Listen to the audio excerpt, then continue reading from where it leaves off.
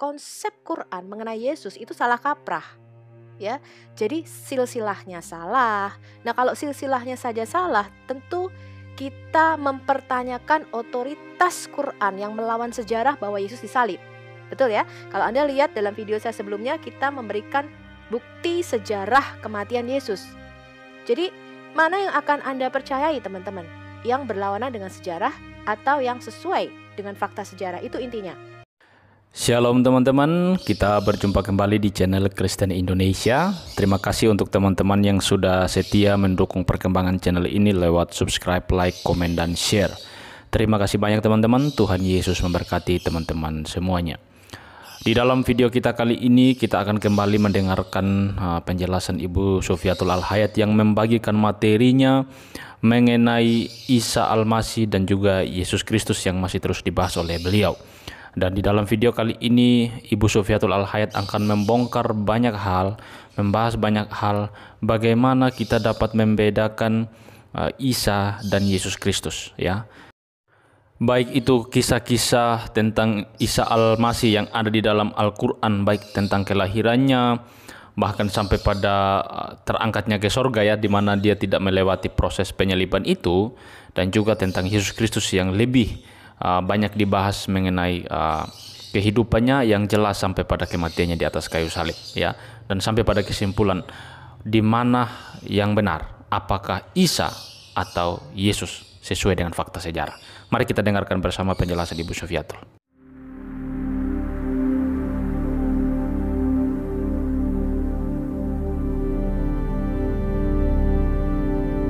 Apakah Isa dan Yesus sama Erkaner?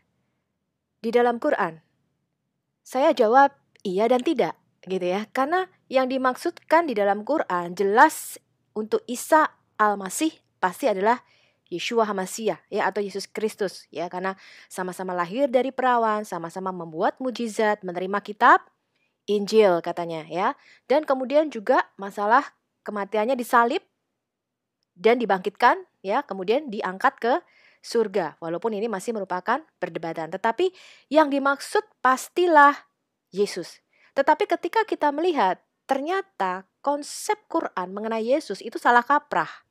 Ya, jadi silsilahnya salah. Nah, kalau silsilahnya saja salah, tentu kita mempertanyakan otoritas Quran yang melawan sejarah bahwa Yesus disalib. Betul ya? Kalau Anda lihat dalam video saya sebelumnya, kita memberikan bukti sejarah kematian Yesus. Jadi, mana yang akan Anda percayai, teman-teman? Yang berlawanan dengan sejarah atau yang sesuai dengan fakta sejarah? Itu intinya. Ya. Jadi jawabannya apakah Isa sama dengan Yesus? Iya dan tidak, gitu loh, teman-teman. Ya. Jadi anda harus terus belajar, teman-teman. Saya membuat video ini karena keprihatinan saya bahwa gereja itu tidak pernah memberikan edukasi. Gereja tidak pernah menyentuh bagian di mana ini loh ajaran Islam. Ini loh yang berbeda dengan Kristen. Ini loh yang keliru. Nah, sehingga jangan disalahkan kalau nanti dari orang-orang Katolik, Kristen, dan sebagainya menjadi mualaf. Kenapa teman-teman? Karena mereka nggak pernah dapat ini. Di gereja itu yang diajarinya kasih, mencintai Tuhan Yesus. Ya, anak-anak kecil tuh nyanyinya kasih. Sedangkan di dalam uh, Islam, itu video anak-anak kecil. Itu sudah pakai pedang. Itu mereka bawa, bunuh kafir, bunuh kafir. Kenapa teman-teman? Karena mereka sudah didoktrin dari kecil. Nah, bagian ini yang tidak mau disentuh oleh para uh, pendeta dan gereja, ini yang saya buat videonya. Ya. Jadi biar para pendeta dan gereja itu menyatakan kasihnya gitu ya. Nah bagian ini nih bagian kita nih ya bagian-bagiannya kita. Kenapa kasihan teman-teman orang Kristen gak dapat pendidikan ya buta dia dia nggak ngerti apa itu ajaran Islam. Oke, nah saya kembali menyentuh sedikit perbedaan istilah terminologi Allah ya di dalam Islam maupun Kristen.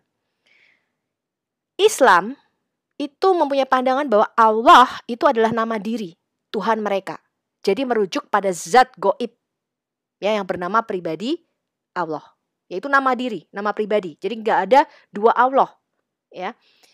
Nah Alkitab, kemarin kita belajar istilah Allah di dalam Alkitab. Itu adalah hakikat atau being, Ya, jadi malaikat-malaikat itu disebut Elohim, disebut Allah karena dia punya otoritas tertentu di dalam dimensi roh. Roh-roh jahat atau demons itu disebut Elohim. Ya, itu roh-roh teritorial yang menguasai bangsa-bangsa ya atau daerah tertentu. Itu dia mempunyai yang Yesus katakan orang kuat di situ. Ya, ada roh orang kuatnya di situ. Itu roh teritorial. Itu Elohim, itu Allah. Ya. Orang-orang kudus di dalam sidang ilahi, kita ini disebut Allah kata Yesus. Karena kita mempunyai otoritas tertentu. Gitu, ya teman-teman. Nah, apa itu hakikat? Contohnya hakikat saya adalah manusia. Nah, kalau saya membuat pernyataan Abdul adalah manusia, benar apa salah? Benar ya? Ahmad adalah manusia. Benar apa salah? Benar dong. Tapi kan Abdul bukan Ahmad. Ahmad juga pribadi yang berbeda dengan Abdul.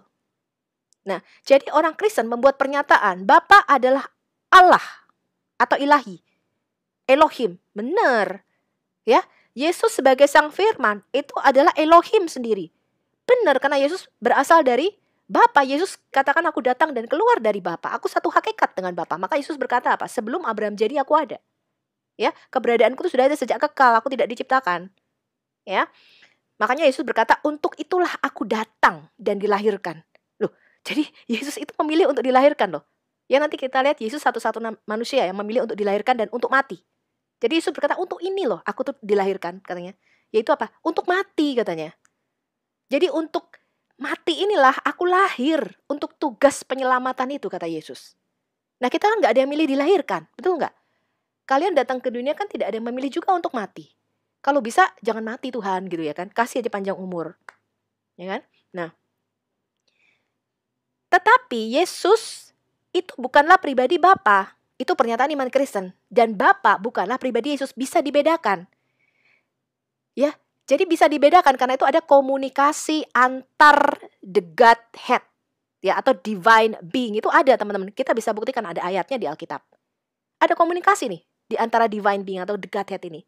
Ya, di mana Bapa itu berfirman kepada Adonai atau Kurios ya, sang firman itu. Yesus juga berkomunikasi dengan Bapa. Begitu juga dengan Roh Kudus. Jadi ada komunikasi di antara divine being itu. Ya, Anda terima nggak terima itu Alkitab. Ya.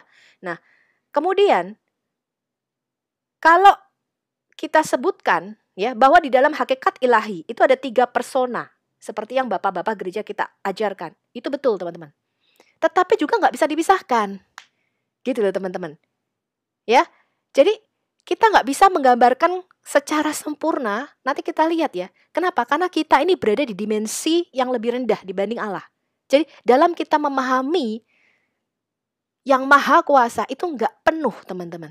Nggak bisa penuh. Ya satu, ya tiga, ya tiga, ya satu. Itu pernyataan iman Kristen. Kenapa begitu? Memang begitulah Tuhan. Ya, nanti setelah kita go through the Bible, Anda akan semakin melihat betapa ajaibnya Tuhan kita. Ya, karena dia itu berada di dimensi yang tertinggi. Dia begitu mulia. Kita nggak bisa mendefinisikan Allah yang begitu luar biasa itu. Ya, nah otak kita ini cuma sekepel gitu teman-teman. Ya, jadi ketika ditanya Apakah Bapa adalah Allah? Iya, hakikatnya ilahi. Yesus adalah Allah? Iya, hakikatnya ilahi. Kalau gitu ketika disalib siapa yang mati? Yesus dong. Jelas jawabannya. Sang firman itu yang mati, ya. Karena Yesus mengatakan untuk tugas inilah, yaitu apa? Mati di kayu salib menebus dosa, ini aku dilahirkan katanya. Jadi yang mati itu adalah tubuh kemanusiaannya. Ya, di surat Rasul Petrus dikatakan dia yang dibunuh dalam keadaannya sebagai manusia. Jadi yang mati adalah da, dagingnya, rohnya turun ke dunia orang mati. Untuk apa? Mengambil tawanan-tawanan roh. Jadi semua roh-roh orang mati dari sejak zaman Adam sampai Yesus ketika dia nuzul itu ada di Seul atau dikatakan di dunia orang mati. Ya, belum ke Firdaus. Ketika Yesus bangkit, makanya di dalam Injil dikatakan pada waktu Yesus bangkit, orang-orang kudus itu juga bangkit dan menampakkan diri mereka masuk ke kota Yerusalem. Jadi pada waktu kebangkitan Yesus itu bukan cuma Yesus yang bangkit. Tapi ada orang-orang kudus yang bangkit. Kenapa? Dia membawa tawanan itu. Dia memproklamasikan kedatangannya dan ketuhanannya, ketuhanannya di dunia orang mati. Ya kepada roh-roh itu yang menunggu dia. Janji tentang Mesias itu. Ya, Nah, dan dia mengambil kunci maut dan kerajaan maut dari iblis. Ya, kemudian Yesus mengatakan di kitab Wahyu apa?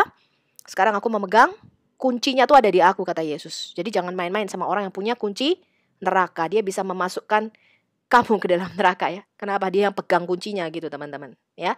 Nah, justru bukti bahwa keilahian Yesus itu adalah kebangkitannya dari maut. Dia mengalahkan dosa dan maut. Itu yang dikalahkan Yesus, teman-teman. Dosa dan maut. Ini adalah bukti pertama. Yesus sudah ada sejak kekal. Ya, tidak satupun dari kita itu ada sejak kekal. Artinya apa kekal? Kekal itu artinya di luar dimensi ruang dan waktu. Kita baru ada ketika kita nuzul, masuk, kemudian Allah meniupkan roh ke dalam rahim ibu kita, itulah permulaan kita. Ya, yaitu di dimensi ketiga ini, dimensi ruang dan waktu. Nah, tetapi Yesus nggak begitu, teman-teman. Nggak begitu dia. Yesus itu ke keberadaannya, eksistensinya itu sudah ada sejak kekal. Kita lihat Yohanes 8 ayat 52 sampai 59. Kata orang-orang Yahudi kepadanya, "Sekarang kami tahu engkau kerasukan setan Sebab Abraham telah mati dan demikian juga nabi-nabi. Tapi engkau berkata, barang siapa menuruti firmanku, ia tidak akan mengalami apa? Maut atau kematian sampai selama-lamanya. Ini kematian kedua. Ya, yang dibicarakan adalah kematian kedua karena kita harus tetap mengalami kematian pertama yaitu kematian tubuh. Ya, kematian kekal ini yang dimaksud oleh Yesus. Ya, kamu tidak akan mengalami keterpisahan dengan Allah selama-lamanya itu kematian kedua yang dikatakan di kitab Wahyu ya sebagai kematian kekal. Nah, adakah engkau lebih besar daripada bapak kita Abraham yang telah mati? Jadi orang-orang Yahudi ini tanya heran, bapak kita aja yang merupakan orang pilihan Allah mati. Nabi-nabi pun telah mati. Musa mati, Samuel mati. Ya. Dengan siapakah engkau hendak menyamakan dirimu? Kata Yesus, Jikalau aku memuliakan diriku sendiri, maka kemuliaanku itu tidak eh, sedikit pun tidak ada artinya. Bapakulah yang memuliakan aku. Siapa Bapak Yesus? Tentang siapa kamu berkata dia adalah Allah kami. Jadi Yesus mengaku orang yang kau panggil Allahmu itu Bapak gue, kata Yesus. Padahal kamu tidak mengenal dia tapi aku mengenal dia kata Yesus karena Yesus itu lahir dari Bapa. Dan jika aku berkata aku tidak mengenal dia, ya, mengenal Bapa, maka aku pendusta sama seperti kamu. Tetapi aku mengenal dia, katanya, dan aku menuruti firman-Nya. Wow. Berarti Bapa punya firman, Yesus punya firman, ya. Nah, ini the Godhead, ini divine being. Makanya kalau Anda lihat teman-teman di dalam Alkitab, semua nabi-nabi itu berkata apa? Demikianlah firman Tuhan. Atau beginilah firman Tuhan yang disampaikan kepadaku. Tapi Yesus nggak pernah ngomong gitu. Kenapa? Karena dia punya firman dari dirinya sendiri. Yesus berkata apa? Kamu telah mendengar firman, tetapi aku berkata kepadamu. Jadi Yesus punya otoritas di atas firman karena dialah sang fir sang firman. Yesus nggak pernah ngomong demikianlah firman Tuhan ya atau beginilah disampaikannya firman Tuhan nggak pernah makanya itu bedanya omongan Yesus dengan nabi-nabi lain ya. Jadi kalau nabi-nabi lain itu selalu bicara aminnya di belakang kalau Yesus aminnya di depan. Jadi Yesus kalau ngomong selalu dimulai dengan amin gitu ya. Aku berkata kepadamu atau amin amin. Yaitu artinya ada dua kali dua saksi di situ. Yaitu sang firman dan Roh Kudus di situ. Jadi kalau Yesus berkata amin amin itu berarti perkataannya sangat-sangat kuat ya teman-teman ya. Yang diterjemahkan di dalam Alkitab kita sebagai sesungguhnya ya aku berkata kepadamu ya itu kata amin itu diterjemahkan sebagai sesungguhnya di dalam bahasa Indonesia Yesus berkata demikian Bap Abraham bapamu bersuka cita bahwa ia akan melihat hariku. Jadi Abraham itu ketika melihat Yesus di kejadian 22 di gunung, Moriah itu teman-teman. Ketika dia mau mengorbankan Ishak, Abraham tuh bersuka cita kenapa? Dia tahu harinya Tuhan, harinya Sang Mesias sebagai anak korban tebusan itu. Ya bukan melihat Mesias, tapi melihat harinya, yaitu hari di mana Mesias akan menjadi korban tebusan. Dan ia telah melihatnya, dan ia bersuka cita. Ya, maka kata orang-orang Yahudi itu kepadanya, umurmu belum sampai 50 tahun dan engkau telah melihat Abraham. Nah, jadi teman-teman sekalipun orang Yahudi tadi mendengar Yesus berkata-kata secara langsung, tapi salah menanggapi. Yesus nggak pernah ngomong bahwa Yesus melihat Abraham, enggak. Yesus berkata, Abraham itu melihat yomku, hariku. Hari apa ini yang dimaksud Yesus? Hari di mana nanti Yesus akan menjadi pengganti sebagai korban tebusan besar itu. Ya, yang di kitab Quran itu adalah kitab surah 37 ayat 107 ya, the great sacrifice ya atau korban sembelihan besar. Itu harinya Yesus di Gunung Moria. Ya. Kemudian antara Abraham dan Yesus itu kan jarak waktunya 2000 tahun, ya kan? Yesus berkata kepada mereka demikian, "Aku berkata kepadamu." Ya, jadi Yesus itu tidak pernah ngomong demikianlah firman Tuhan atau firman Tuhan datang kepadaku enggak. Dia langsung berkata dari otoritasnya sendiri. Aku berkata kepadamu kata Yesus. Sesungguhnya, ini amin. Ya, bahasa aslinya itu aku berkata kepadamu. Amin, amin. Sebelum Abraham jadi, aku telah ada. Ego Amy. Ya, ini nama Tuhan yang kemarin kita belajar di mana? Di kitab Keluaran 3 ayat 14. Eh yeh asher eh yeh. Akulah aku kata Yesus, ya. Lalu lihat reaksi orang Yahudi. Mereka mengambil batu untuk melempari Yesus. Tetapi Yesus menghilang dan meninggalkan bait Allah. Kenapa? Karena orang Yahudi tahu dia mengklaim kesetaraannya dengan Bapa dengan Allah, teman-teman. Makanya firman itu hanya dipercayakan kepada orang Yahudi. Kenapa? Karena orang Yahudi yang punya kitab, mereka tahu apa yang Yesus omongkan. Jadi nggak nggak apa? nggak jaka sembung bawa golok gitu, teman-teman. Kagak nyambung. Ya, kalau Yesus ngomong ini kepada bangsa lain yang tidak mempunyai kitab-kitab perjanjian lama, nggak nyambung. Mereka nggak ngerti apa yang Yesus omongkan. Tapi karena ini ngomong sama orang Yahudi, ahli Taurat, orang Farisi, mereka tuh ngerti apa yang diklaim oleh Yesus, teman-teman. Ya. Jadi Yesus tuh mengklaim dia itu nabi yang dijanjikan oleh Musa, yaitu apa? Yang mengenal Allah muka dengan muka seperti Musa. Yesus berkata Abraham telah melihat yomnya atau harinya. Bukan melihat Yesus, melihat hari. Hari apa itu? Hari di mana Yesus akan menjadi anak domba yang dikorbankan itu. Yaitu di mana? Di kejadian dua-dua. Nah, dengan demikian, ego Amy itu menunjuk kepada siapa? Tuhannya Abraham yang menyediakan anak domba itu. Dan pada keberadaan Yesus dari sejak kekal, Yesus mengklaim dia lebih besar daripada Abraham dan dari para nabi yang mati.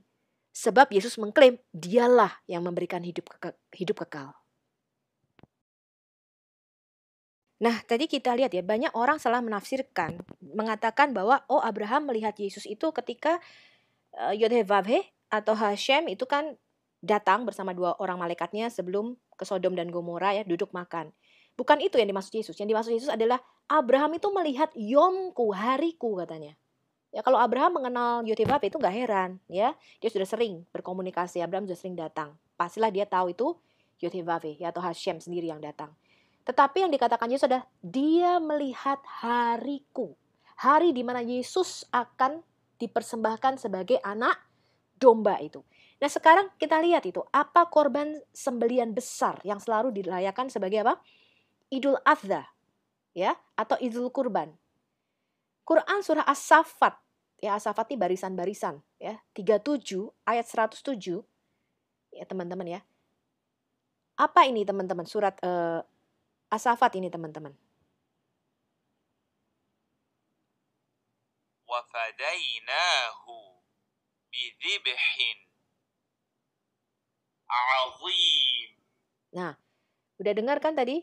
Dan kami tebus anak itu dengan seekor seekor ya, satu ya berarti ya. Sembelihan yang besar. Apa itu? Kambing jantan. Ya, seekor sembelihan yang besar ini bukan dinosaurus, dinosaurus teman-teman. Bukan binatangnya bukan gede atau gajah gitu ya. Bukan. Yang dikorbankan Allah di situ Allah mengirim pengganti Ishak itu bukan seekor gajah, maksudnya yang gede gitu binatangnya enggak. Tetapi apa? Maknanya teman-teman.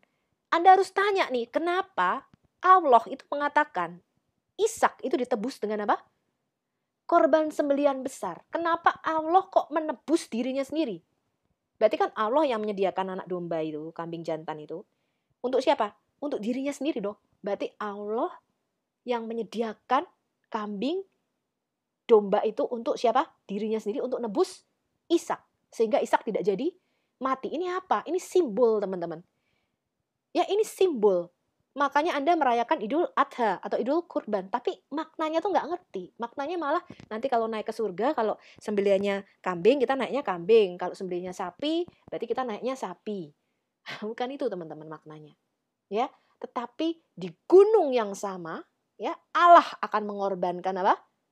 Anaknya yang tunggal. Sama seperti Allah berkata Abraham, kamu korbankan anakmu yang tunggal, maka aku akan berikan anak tunggalku sebagai korban penebus, sebagai ganti. Itu maknanya teman-teman.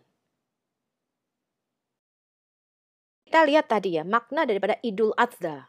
Ya, itu bukanlah nanti kalau ke surga kita kalau korban sembelihannya kambing kita naiknya kambing, kalau sapi kita naiknya sapi. Bukan itu teman-teman. Kita lihat dulu ini di Lukas 24 ayat 13 sampai 34. Ini adalah dua orang murid Yesus berjalan ke Emmaus. Jadi mereka tuh dari Yerusalem mereka berdua tuh jalan ke Emmaus. Ini pada hari Yesus bangkit ya. Jadi pada hari Minggu nih. Nah, dua orang ini lagi ngomong-ngomong mengenai apa yang terjadi. Ya, Yesus mati, tapi kok wanita-wanita di kuburan itu mengatakan mayatnya nggak ketemu. Terus katanya ada malaikat yang ngomong kepada perempuan-perempuan ini bahwa Yesus sudah bangkit. Nah, tiba-tiba ketika dua orang ini ngomong-ngomong, Yesus itu ada di tengah-tengah mereka. Lalu Yesus berkata kepada mereka, ini Kleopas ya dan Kefas.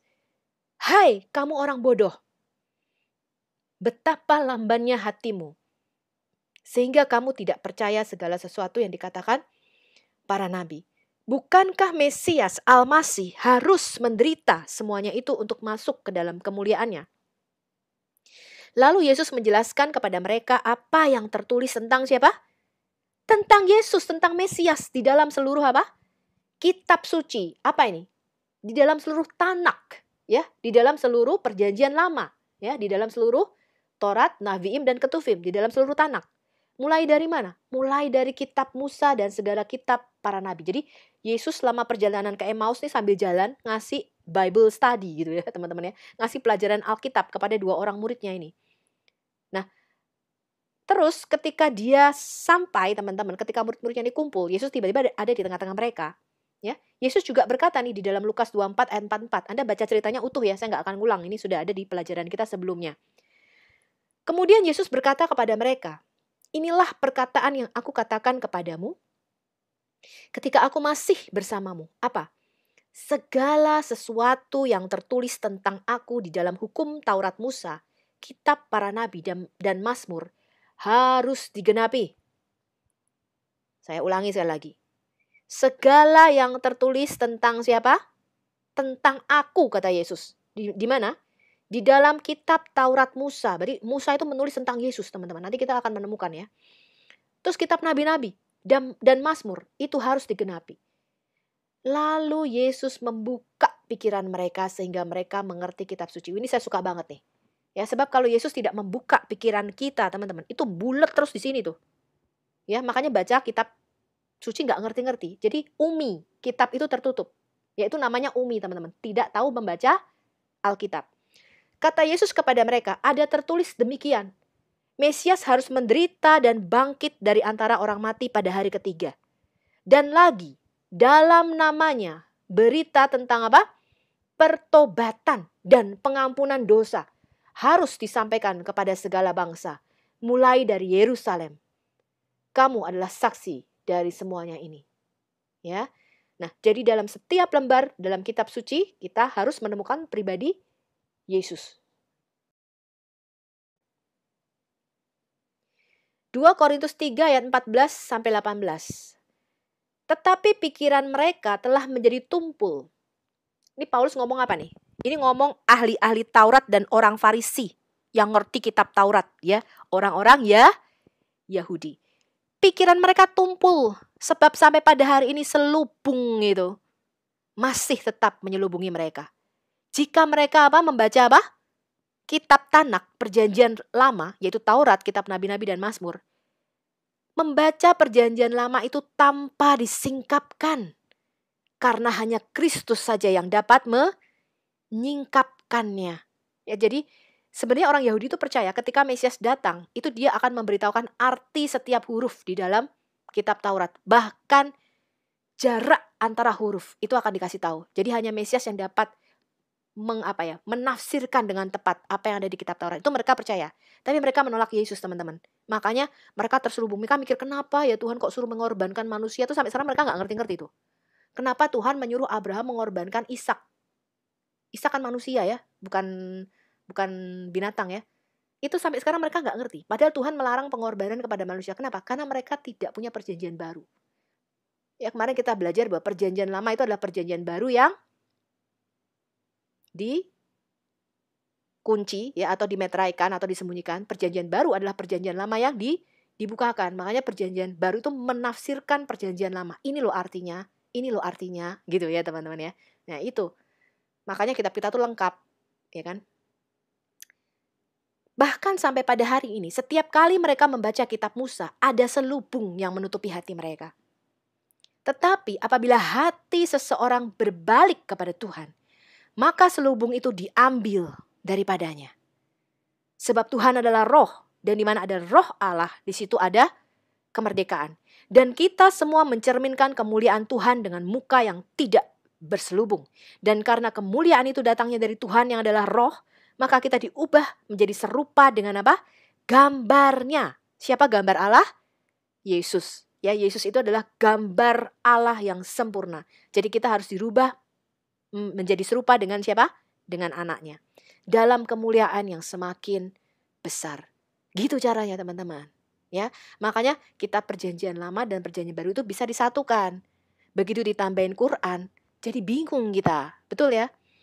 Saya membaca uh, sorry, saya melihat YouTube Pak Yahya Waloni katanya kalau saya baca Alkitab ini saya bisa jadi gila katanya.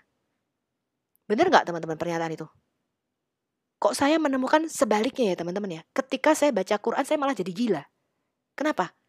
Katanya ini merujuk pada Yesus. Kemarin kita lihat ya. Tetapi ternyata Yesus yang dimaksud adalah Yesus keponakannya Musa dan Harun. Ini kan membuat saya jadi gila teman-teman. Ya, jadi bukannya saya jadi waras, malah saya jadi bingung gitu loh. Ya kan? Nah, ini adalah akedah Yitzhak. Ya, ini adalah peristiwa akedah Yitzhak. Ini sangat terkenal. Ya, orang Yahudi kalau menyebut kejadian dua-dua ini adalah akedah Yitzhak atau pengikatan Ishak. Ya. Setelah semuanya itu Allah mencoba Abraham. Ia berfirman kepadanya, Abraham. Lalu sautnya, Hineni. Ini aku. Firmannya, ambillah anakmu yang tunggal, Yahid lah ini orang muslim protes terus teman-teman. Ini pasti diganti nih kata-katanya sama orang Yahudi. Karena waktu itu kan Ismail ada anaknya yang lain. Kenapa kok di situ dikatakan anakmu yang tunggal? Ya karena mereka nggak punya kita perjanjian baru teman-teman. Ya, karena di sini Tuhan mau ngomong ini ini yang namanya perjanjian darah. Yang nanti kita lihat. Makanya eh, kalau nggak orang Yahudi nggak ngerti teman-teman.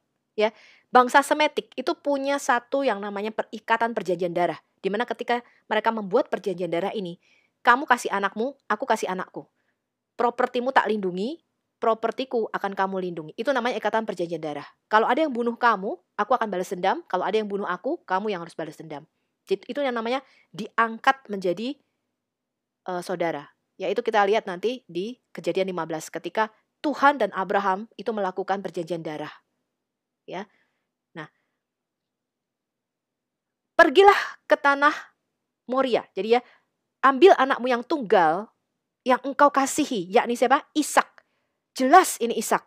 Ya, pergilah ke tanah Moria dan persembahkanlah dia di sana sebagai korban bakaran pada salah satu gunung yang akan kukatakan kepadamu. Jadi Yahudi tidak bingung teman-teman yang dikorbankan Ishak. Kristen tidak bingung teman-teman yang dikorbankan Ishak. Ya, satu-satunya yang bingung Muslim. Nah makanya saya saya bingung dengan pernyataan Bapak Yahya Waloni. Kalau saya baca Alkitab jadi gila.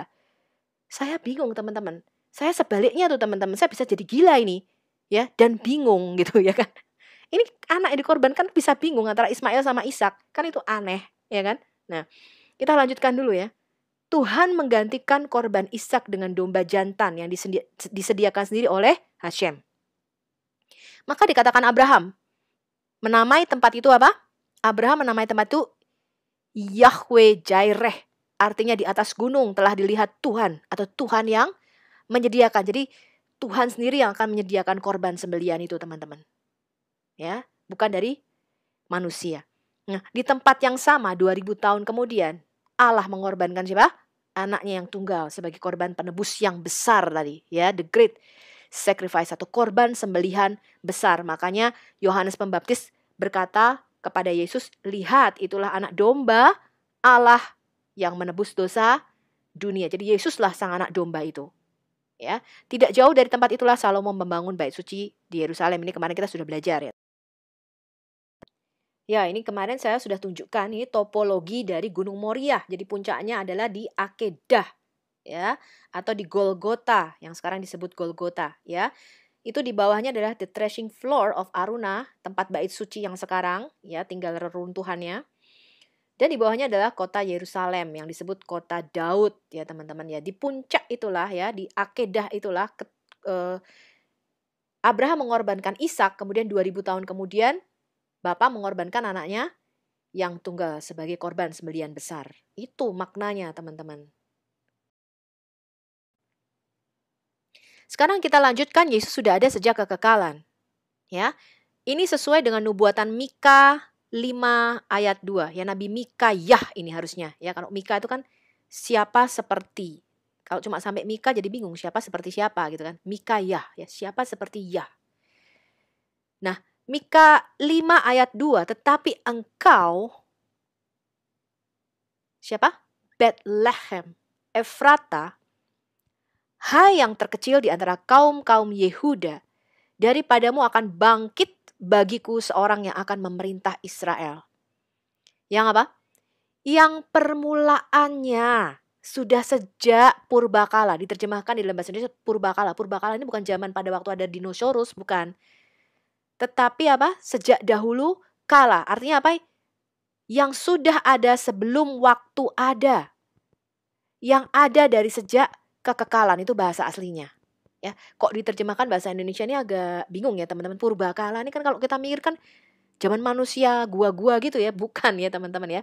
Maksudnya sebelum waktu ada, itu dia sudah ada. Sejak kekal. Ya, jadi kekal itu artinya di luar dimensi ruang dan waktu. Ya.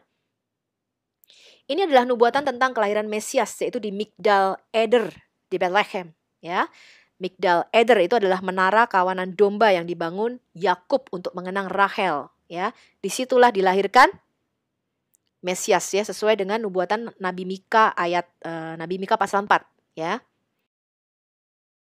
Kemudian kita melihat lagi nih. Sesuai dengan nubuatan Nabi Yesaya 9 ayat 6. Mengatakan demikian. Sebab seorang anak telah lahir untuk kita. Seorang putra telah diberikan untuk kita. Lambang pemerintahan ada di atas bahunya. Makanya lahir sudah disebut Al-Masih. Ya, itu gelar atau title. Ya, itu adalah title ilahi. Ya, kayak Pangeran George itu baru oe udah disebut Her Royal Highness. Uh, sorry, his ya. Pangeran George kan laki ya. His Royal Highness. Ya sudah disebut dengan gelar ke bangsawanan. Ya. Kemudian apa? Namanya akan disebutkan orang siapa? Wonderful Counselor, penasehat yang ajaib. Penasehat ajaib ini pasti menunjuk pada sosok ilahi ya teman-teman ya. Ya kan? Allah yang perkasa, El Gibor. Jadi anak yang lahir nanti itu adalah seorang laki-laki karena disebutkan seorang putra. Ya jelas, bukan cewek, ya putra. Disebut El Gibor, Allah yang perkasa. Bapa dari kekekalan. Ya, dan apa? Harusnya tuh Prince of Peace ya, teman-teman. Sar Salom. Kalau bahasa Inggrisnya benar sih, Prince of Peace, pangeran damai. Tapi diterjemahkan oleh LI menjadi raja damai. Kita ikut aja, ya. Nah, kemudian Yeremia 23 ayat 5 sampai 6. Sesungguhnya waktunya akan datang, demikianlah firman Tuhan. Aku akan menumbuhkan apa? tunas adil bagi Daud. Tunas itu artinya cabang dari keturunan Daud. Ia akan memerintah sebagai raja yang bijaksana. Jadi Yesus nanti akan menjadi raja yang bijaksana teman-teman. Dan akan melakukan apa? Keadilan dan kebenaran di negeri. Makanya namanya yang setia dan benar di kitab Wahyu. ya. Nah di dalam zamannya Yehuda akan dibebaskan dari perbudakan dosa nih pastinya ya. Ini nubuatan ganda yang namanya double prophecy ya. Dan Israel akan hidup dengan tentram. Dan siapa namanya? Siapa nama anak yang akan lahir dari keturunan Daud ini? Namanya akan dipanggil Tuhan Yahweh Sitkeniu. Tuhan kebenaran kita. Jadi ini anak jangan main-main loh. Ini anak yang lahir ini nanti ilahi nih. Karena disebut Allah yang perkasa. Dan akan disebut dengan Yod He. Jadi Mesias itu adalah siapa tadi? Yod He. Ini kata Alkitab teman-teman. Ya, kemarin kita belajar penyebutannya tetragrammaton, apakah Yahweh atau Yehovah. Terserah Anda mau sebut apa, tapi saya mengikuti orang Samaria, teman-teman. Orang Samaria itu tidak pernah pergi ke pembuangan ya. Imam-imam Samaria itu tetap di Samaria dan mereka menyebutnya Yahweh. Begitu juga dengan orang-orang Yahudi Askenas ya atau Yahudi Yemenite itu mereka menyebutnya Yahweh ya. Jadi saya ambil yang itu. Anda mau nyebut yang lain boleh, terserah. Pokoknya asal jangan salah Tuhan gitu aja ya. Nah, kita lihat bukti selanjutnya nih. Yesus sudah ada sejak kekekalan. Yesaya 43 ayat 11. Ini kata-kata yang kuat nih. Perhatikan nih kata-katanya teman-teman. Anoki, anoki. Aku, akulah. Dua kali nih. Kenapa disebut dua kali nih teman-teman? Aku yang pertama adalah Yud Hevave, Hashem. Aku yang kedua juga sama, namanya Hashem. Aku, akulah Yod Ada dua nih teman-teman. Ya, dan tidak ada juru selamat selain daripada aku. Jadi tidak ada juru selamat selain Yod He Vavhe. Ya. Zakaria 12 ayat 10. Aku akan mencurahkan roh pengasihan dan roh permohonan atas keluarga Daud dan atas penduduk Yerusalem dan mereka akan memandang kepada siapa? Kepadaku. Jadi terjemahan LAI bahasa Indonesia kepadanya itu kurang tepat. Ya, yang benar kepada aku. Ya, bukan kepadanya. Mereka akan memandang kepadaku. Kemudian ada dua huruf yaitu alef dan taf yang tidak diterjemahkan. Ya, alef dan taf ini at gitu ya, teman-teman. Itu merupakan signature daripada Yesus yang merupakan alfa dan omega, yang awal dan yang akhir. Jadi alef dan taf itu adalah huruf pertama dan huruf terakhir dalam bahasa Ibrani, ya. Mereka akan memandang kepadaku alef taf yang telah mereka tikam. Dagar. Ya dakar itu kayak ditusuk uh, ditusuk ya, ditusuk teman-teman, ditancepin. Dakar ya. Dan akan meratapi dia mereka akan memandang kepadaku yang telah mereka tusuk, tapi mereka akan meratapi dia. Lu kok bisa? ya, nah, seperti seorang meratapi anak tunggalnya dan akan menangisi dia dengan pedih seperti orang menangisi anak sulung. Jadi alef dan taf ini huruf pertama dan huruf terakhir tadi saya katakan tidak bisa diterjemahkan di dalam ayat ini. Kalau Anda lihat Zakaria 12 ayat 10 di dalam Alkitab LAI itu tidak bisa diterjemahkan ya. Kemudian Wahyu 1 ayat 8, siapa sih Alef Taf ini? Yesus berkata, aku adalah Alfa dan Omega atau Alef dan Taf. Firman Tuhan Allah yang ada, yang sudah ada, dan yang akan datang. Pantokrator yang maha kuasa atau pemegang kekuasaan ya dia mengatakan aku ini pantokrator pemegang kekuasaan. Ya Gusti Yesus itu loh teman-teman ya. Yohanes 19 ayat 37 dan ada pula nas yang mengatakan mereka akan memandang kepada dia yang telah mereka tusuk telah mereka tikam. Jadi kematiannya itu sudah dinubuatkan dengan cara ditikam. Ditikam mana tangan dan kakinya. Mazmur 22 mengatakan mereka menikam, menusuk aku, tangan dan kakiku. Jadi kematiannya dengan cara disalib. Padahal pada waktu Daud menulis Mazmur 22, mereka akan menusuk tangan dan kakiku. Pada waktu itu hukuman salib belum dikenal. Yang ada hukuman rajam. Ya, jadi 750 tahun sebelum hukum hukuman salib itu ada, Daud sudah menulis. Nanti Mesias itu matinya dengan ditusuk tangan dan kakinya. Nanti kita melihat hal yang dahsyat di Mazmur 22. Ini adalah kesaksian Yohanes Pembaptis di Matius 3 ayat 11. Aku membaptis kamu dengan air sebagai apa? Tanda pertobatan. Jadi baptisan air itu sebagai tanda kita bertobat, manusia lama kita mati, kemudian kita dibangkitkan menjadi manusia baru. Itu tandanya, ya. Tetapi dia yang datang kemudian daripadaku lebih berkuasa daripadaku. Membungkuk dan membuka tali kasutnya aku tidak layak. Dia akan membaptis dengan apa? Roh Kudus dan dengan api. Jadi Yesus itu membaptis kita dengan Roh Kudus. Makanya Yesus berkata setelah kebangkitannya, kamu tunggu di Yerusalem. Nanti Roh Kudus akan diutus Bapa ya di dalam namaku katanya. Maka kepenuhanlah 120 orang murid-murid itu di loteng Yerusalem. Anda harus mencapai pada baptisan yang kedua dan ketiga, yaitu baptisan Roh Kudus. Ketika Anda sudah menerima baptisan, baptisan Roh Kudus yaitu dengan berbahasa roh, maka Anda kemudian harus menuju kepada baptisan yang ketiga, yaitu the fire, baptisan api. Ya, teman-teman di mana Anda berapi-api memberitakan Injil Yesus dengan tanda-tanda dan kuasa, ya. Nah, itu. Jadi ada tiga baptisan, baptisan air, baptisan roh kudus, kemudian baptisan api. Alat penampi sudah di tangannya. Ia akan membersihkan tempat pengirikannya dan mengumpulkan gandumnya ke dalam lumbung.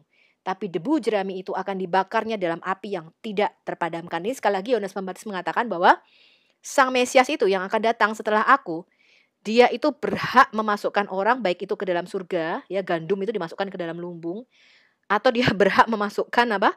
kamu ke dalam neraka loh. Ya kalau kamu tuh cuma debu jerami nggak ada gunanya, kamu dibakar di dalam api yang tidak terpadamkan. Ya itu dia yang punya kuasa. Ya. Kesaksian lagi nih Yohanes Pembaptis. Yohanes Pembaptis memberi kesaksian tentang Yesus dan berseru katanya, inilah dia.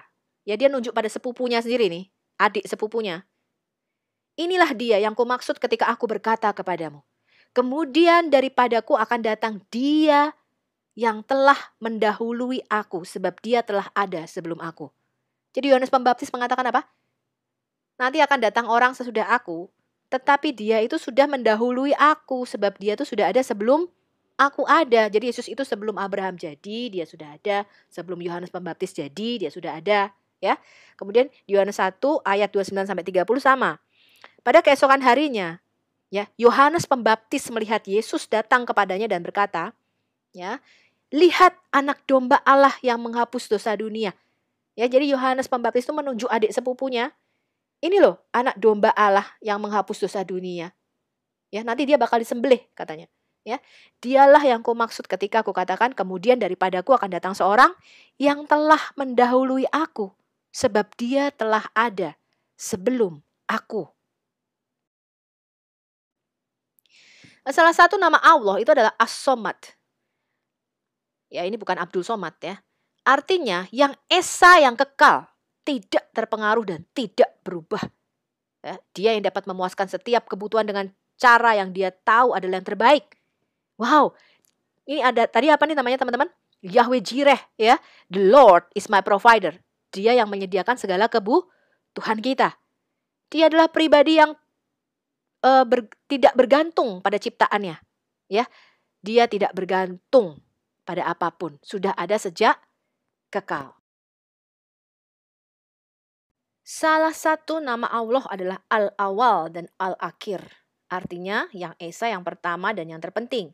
Dia ada sebelum semua ciptaan dan penyebab segala sesuatu. Yang Esa yang terakhir, dia akan tetap ada setelah ciptaan binasa. Dan dia yang di atasnya tidak ada apa-apa. Ya. Nah, Wahyu 2 ayat 8 Yesus mengatakan demikian, tuliskanlah kepada malaikat jemaat di Smyrna. Inilah firman yang awal dan yang akhir yang telah mati dan hidup kembali, kata Yesus. Jadi Yesus mengaku dialah yang awal dan yang akhir. Wahyu 22 ayat 13, kata Yesus, Aku adalah Alfa dan Omega, yang pertama dan yang terkemudian, yang awal dan yang akhir. Yesaya 41 ayat 4, ini kita perjanjian lama ya. Siapakah yang melakukan dan mengerjakan semuanya itu? Dia yang dari dahulu memanggil bangkit keturunan-keturunan. Aku, Yodhevavhe, Hashem, ya, aku Yahweh yang terdahulu. Dan bagi mereka yang terkemudian, aku tetap dia juga. Ya, jadi Hashem berkata, aku yang pertama dan terakhir. Yesus mengatakan, aku yang pertama dan terakhir. Allah mengatakan dia yang pertama dan terakhir. Jadi apa kesimpulannya? Yesus mengaku dia adalah Allah.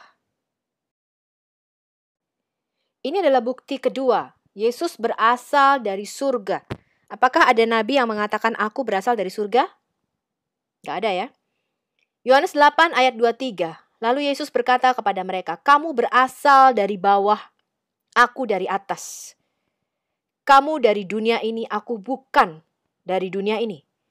Karena itu tadi aku berkata kepadamu bahwa kamu akan mati dalam dosamu." Wah, gak percaya Yesus? Konsekuensinya apa teman-teman? Mati teman-teman.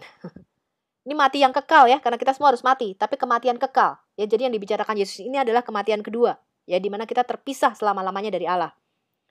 Sebab jikalau kamu tidak percaya, akulah dia, ego Amy, kamu akan mati di dalam dosamu. Wow. Percaya apa nih? Percaya Yesus sebagai nabi? Percaya Yesus sebagai imam? Atau percaya Yesus sebagai anak tukang kayu? Di atas pengakuanmu itulah tentang siapa Yesus itu merupakan titik tolak keselamatanmu. Jadi pengertianmu tentang siapa Yesus, ya kalau kamu hanya sebatas nabi, hanya sebatas anak tukang kayu, ya apalagi hanya sebatas manusia baik, apalagi hanya sebatas guru, guru yang baik, ya jadi orang-orang di luar Kristen, Yahudi dan sebagainya, mereka mengatakan Yesus itu baik kok, baik. Enggak dia nggak pernah melakukan kejahatan kan, betul ya? Yesus nggak pernah mencuri, membunuh, memperkosa, betul nggak? Nggak pernah merampok, nggak pernah. Dia orang baik. Kalau pengertianmu hanya sebatas itu, kamu belum bisa diselamatkan loh. Yesus mengatakan kamu akan mati di dalam dosamu kalau kamu tidak mengenal aku dengan benar. Yesus mengklaim dalam konteks kalimat ini itu sebagai terang yang datang ke dunia. Wow. Ada nggak nabi lain yang mengaku sebagai terang yang datang ke dalam dunia? Ya, di ayat ke-12 dia berkata, "Akulah terang dunia." Ego Amy, akulah dia, terang dunia. Yesus berkata, "Aku ini terang dunia," katanya. Barang siapa mengikut aku, ia tidak akan berjalan di dalam kegelapan, melainkan ia akan mempunyai terang hidup. Ya, ini bukan terang lampu senter, ya, bukan kalau listrik mati PLN itu bukan, teman-teman. Ini terang hidup. Ya. Yohanes 8 ayat 42. Kata Yesus kepada mereka, "Jikalau Allah adalah Bapamu, kamu akan mengasihi aku. Sebab aku keluar dan datang dari Allah. Aku keluar Yesus itu keluar. Keluar itu apa? Bedal. Bedal itu apa tahu teman-teman? Nuzul. Ya. Datang dari Allah. Makanya disebut anak Allah. Kalau kamu datang dari Bali, kamu akan disebut anak Bali. Kalau kamu datang dari Kalimantan, kamu akan disebut anak Kalimantan. Ya, tapi Yesus itu datang dari Allah, maka dia disebut anak Allah. Aku keluar dan datang dari Allah. Dan aku datang bukan atas kehendakku sendiri, melainkan dialah yang mengutus aku, melainkan apa? kehendak Bapa. Jadi kalau ada sekarang gerakan Kristen Unitarian ya, yang tidak bisa menerima ada tiga pribadi di dalam the Godhead atau divine being. Ini karena dia nggak masuk di akalnya, teman-teman. Yesus berkata apa? Dia punya kehendak sendiri loh. Bapak punya kehendak sendiri. Dan dia tunduk, submit kepada apa? kehendak Bapa. Kalau bukan pribadi yang berbeda nggak bisa teman-teman punya kehendak sendiri. Itu namanya robot.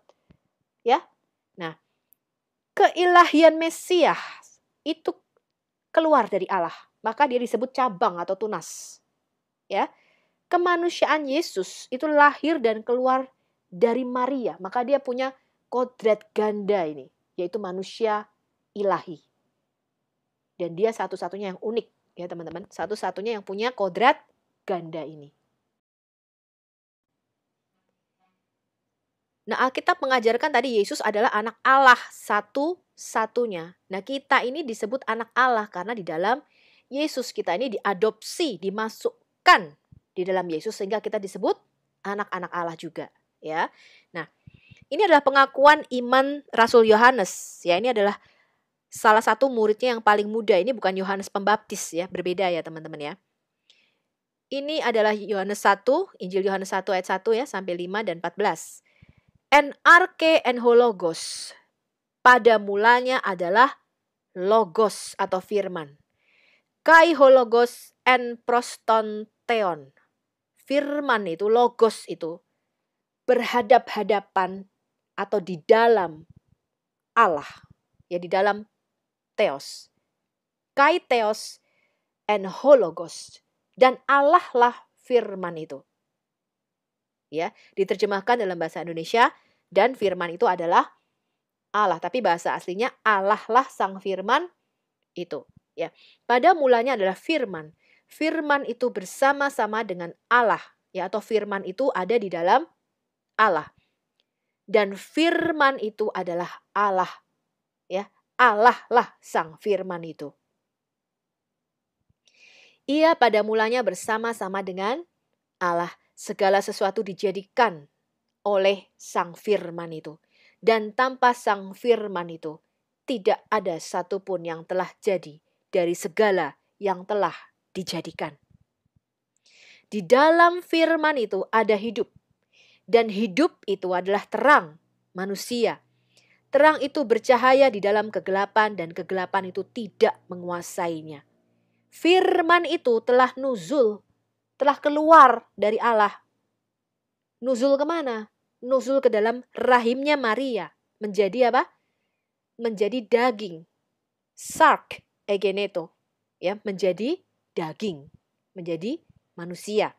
Dan diam di antara kita jadi ke, kehendak atau keinginan hatinya Allah itu selalu ingin diam di antara kita. Ya kemarin kita belajar Allah selalu ingin berkemah di antara kita. Ya dia nggak pernah pengen berbicara dari balik tabir. Ya dia selalu pengen face to face dengan kita. Dia pengen diam di antara anak-anaknya. Ya, dan kita telah melihat kemuliaannya, yaitu kemuliaan yang diberikan kepadanya sebagai apa? Anak tunggal Bapa, penuh kasih karunia dan kebenaran. Nah, firman atau logos ini bukan hanya perkataan yang diucapkan teman-teman dalam konsep Yahudi juga ya teman-teman, tapi hikmat, pengetahuan, pikiran, kecerdasan. Nah, Allah yang dapat dilihat itu disebut dafar atau memra atau firman Allah.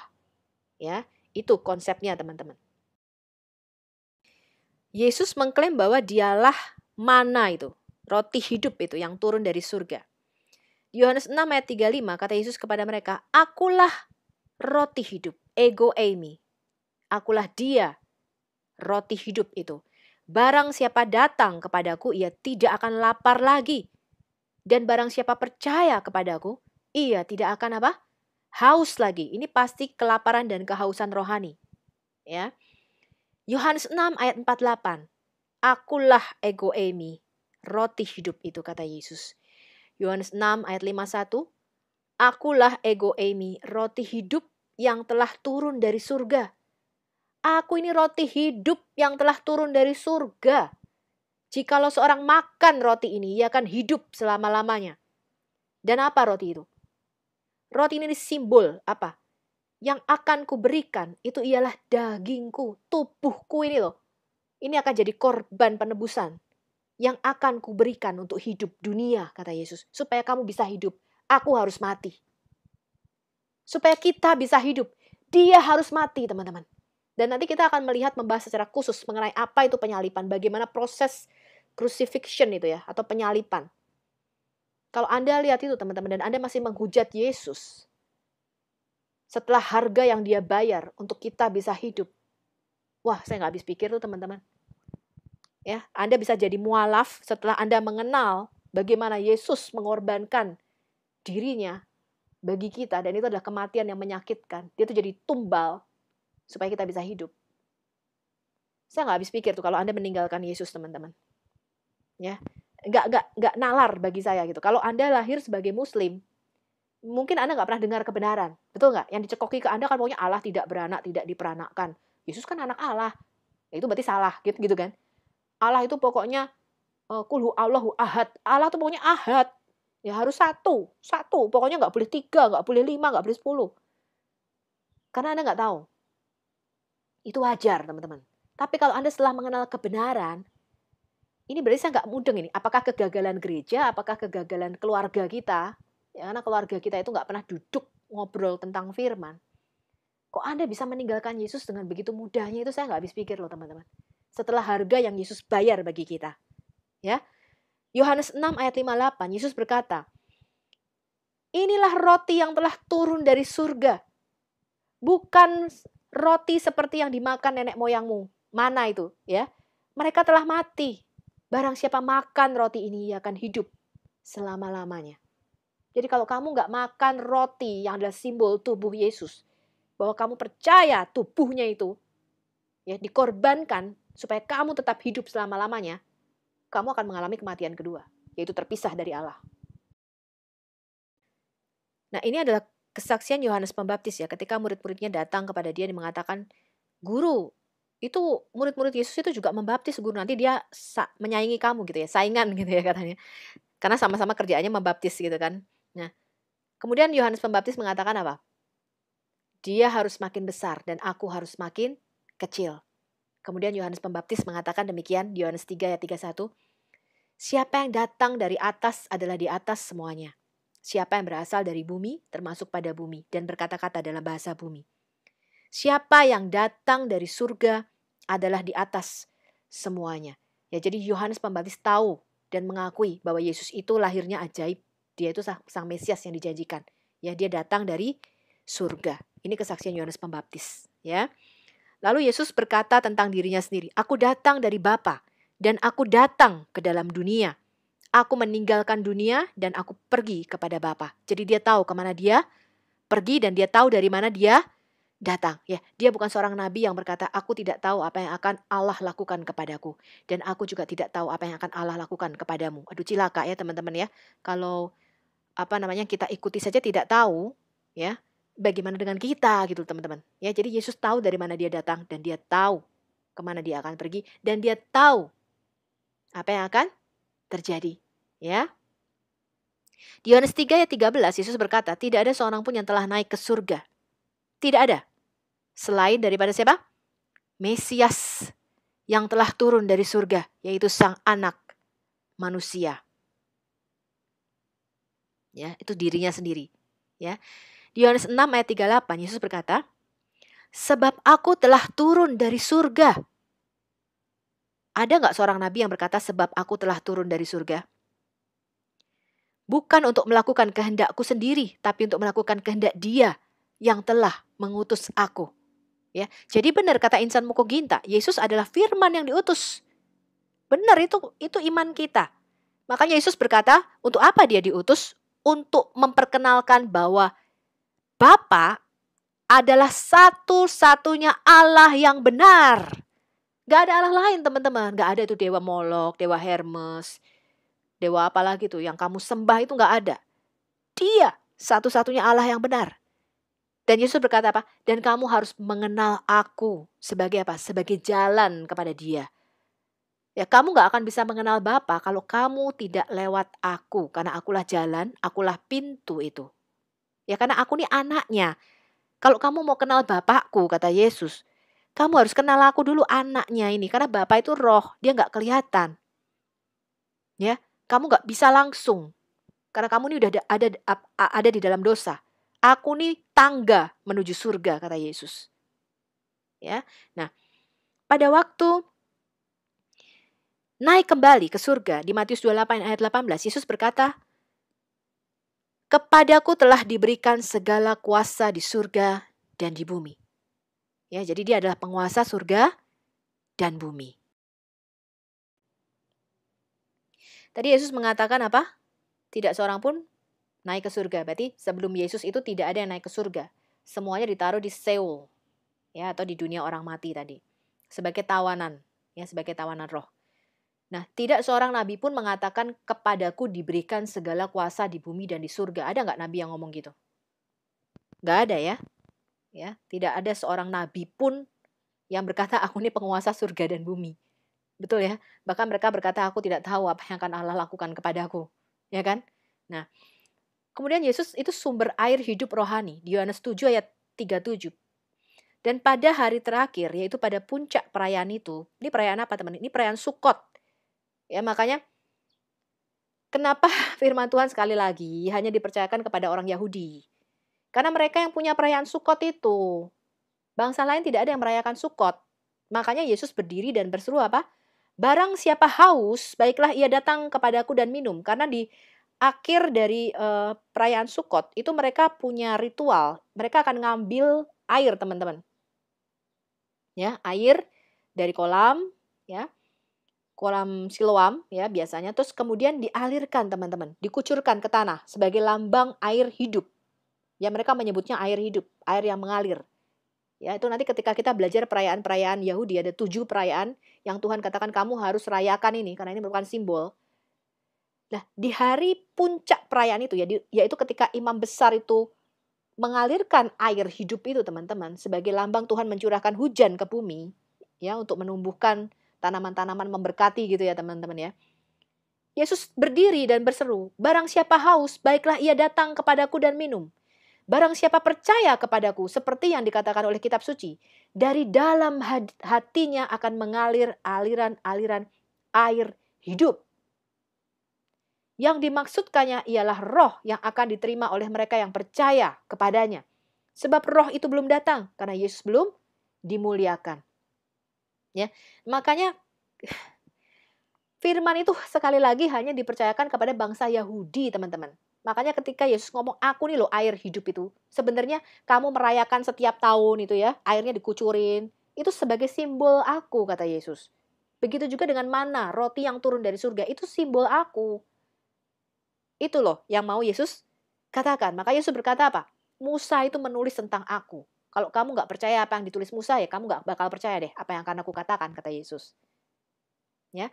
Di Yohanes 4 ayat 13 sampai 14 Yesus berkata, Barang siapa minum air ini, ini kepada perempuan Samaria ya. Kalau kamu minum air ini, kamu akan haus lagi katanya. Tapi barang siapa minum air yang akan kuberikan kepadanya, yaitu air hidup itu. Yaitu apa? Roh Kudus ia tidak akan haus untuk selama-lamanya, katanya kepada perempuan Samaria itu, ya. Sebaliknya, air yang akan kuberikan kepadanya akan menjadi mata air di dalam dirinya yang terus-menerus memancar sampai kepada hidup yang kekal. Aduh, merinding saya bacanya, teman-teman. Tuhan itu aduh Tuhan itu luar biasa, teman-teman. Betul-betul kalau Anda tuh kepenuhan Roh Kudus, itu adalah hari yang harus Anda ingat-ingat, teman-teman. Anda tuh kayaknya ada ruang kosong ya di dalam hatimu. Kamu tuh haus dan lapar akan kebenaran dan mencari Tuhan. Ketika roh kudus itu turun atasmu teman-teman. Kamu tuh bisa merasakan kasih yang luar biasa. Jadi kamu tuh bisa melihat orang dan kamu tuh bisa mengasihi. Ketika ada air hidup, kita nggak bisa nggak sanggup teman-teman mengasihi orang. Orang tuh banyak yang nyebelin, tau gak sih? Jengkelin teman-teman. Tapi ketika roh kudus itu turun,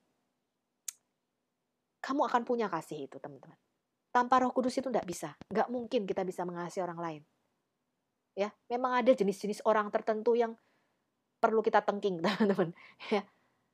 Nah, itu perlu kekuatan roh kudus, teman-teman. Ya, ada jenis orang tertentu memang tuh nyebelin banget, teman-teman. Lebih baik dihindari, kan gitu ya. Nah, roh kudus inilah yang memampukan kita untuk mengasihi musuh kita, teman-teman. Nggak mungkin kita itu bisa sanggup mengasihi orang yang menjelek-jelekkan kita tanpa Roh Kudus. Ya. Matius 5 dan 6 dikatakan apa nih? Berbahagialah orang yang lapar dan haus akan kebenaran karena mereka akan dipuaskan. Nah, jadi lapar dan haus ini yang dimaksud Yesus adalah lapar dan haus secara rohani ya. Di Yohanes 14 ayat 6 kata Yesus, "Akulah dia, ego eimi." Ya, akulah dia jalan itu dan kebenaran itu dan hidup itu. Tidak ada seorang pun yang datang kepada Bapa kalau tidak melalui aku.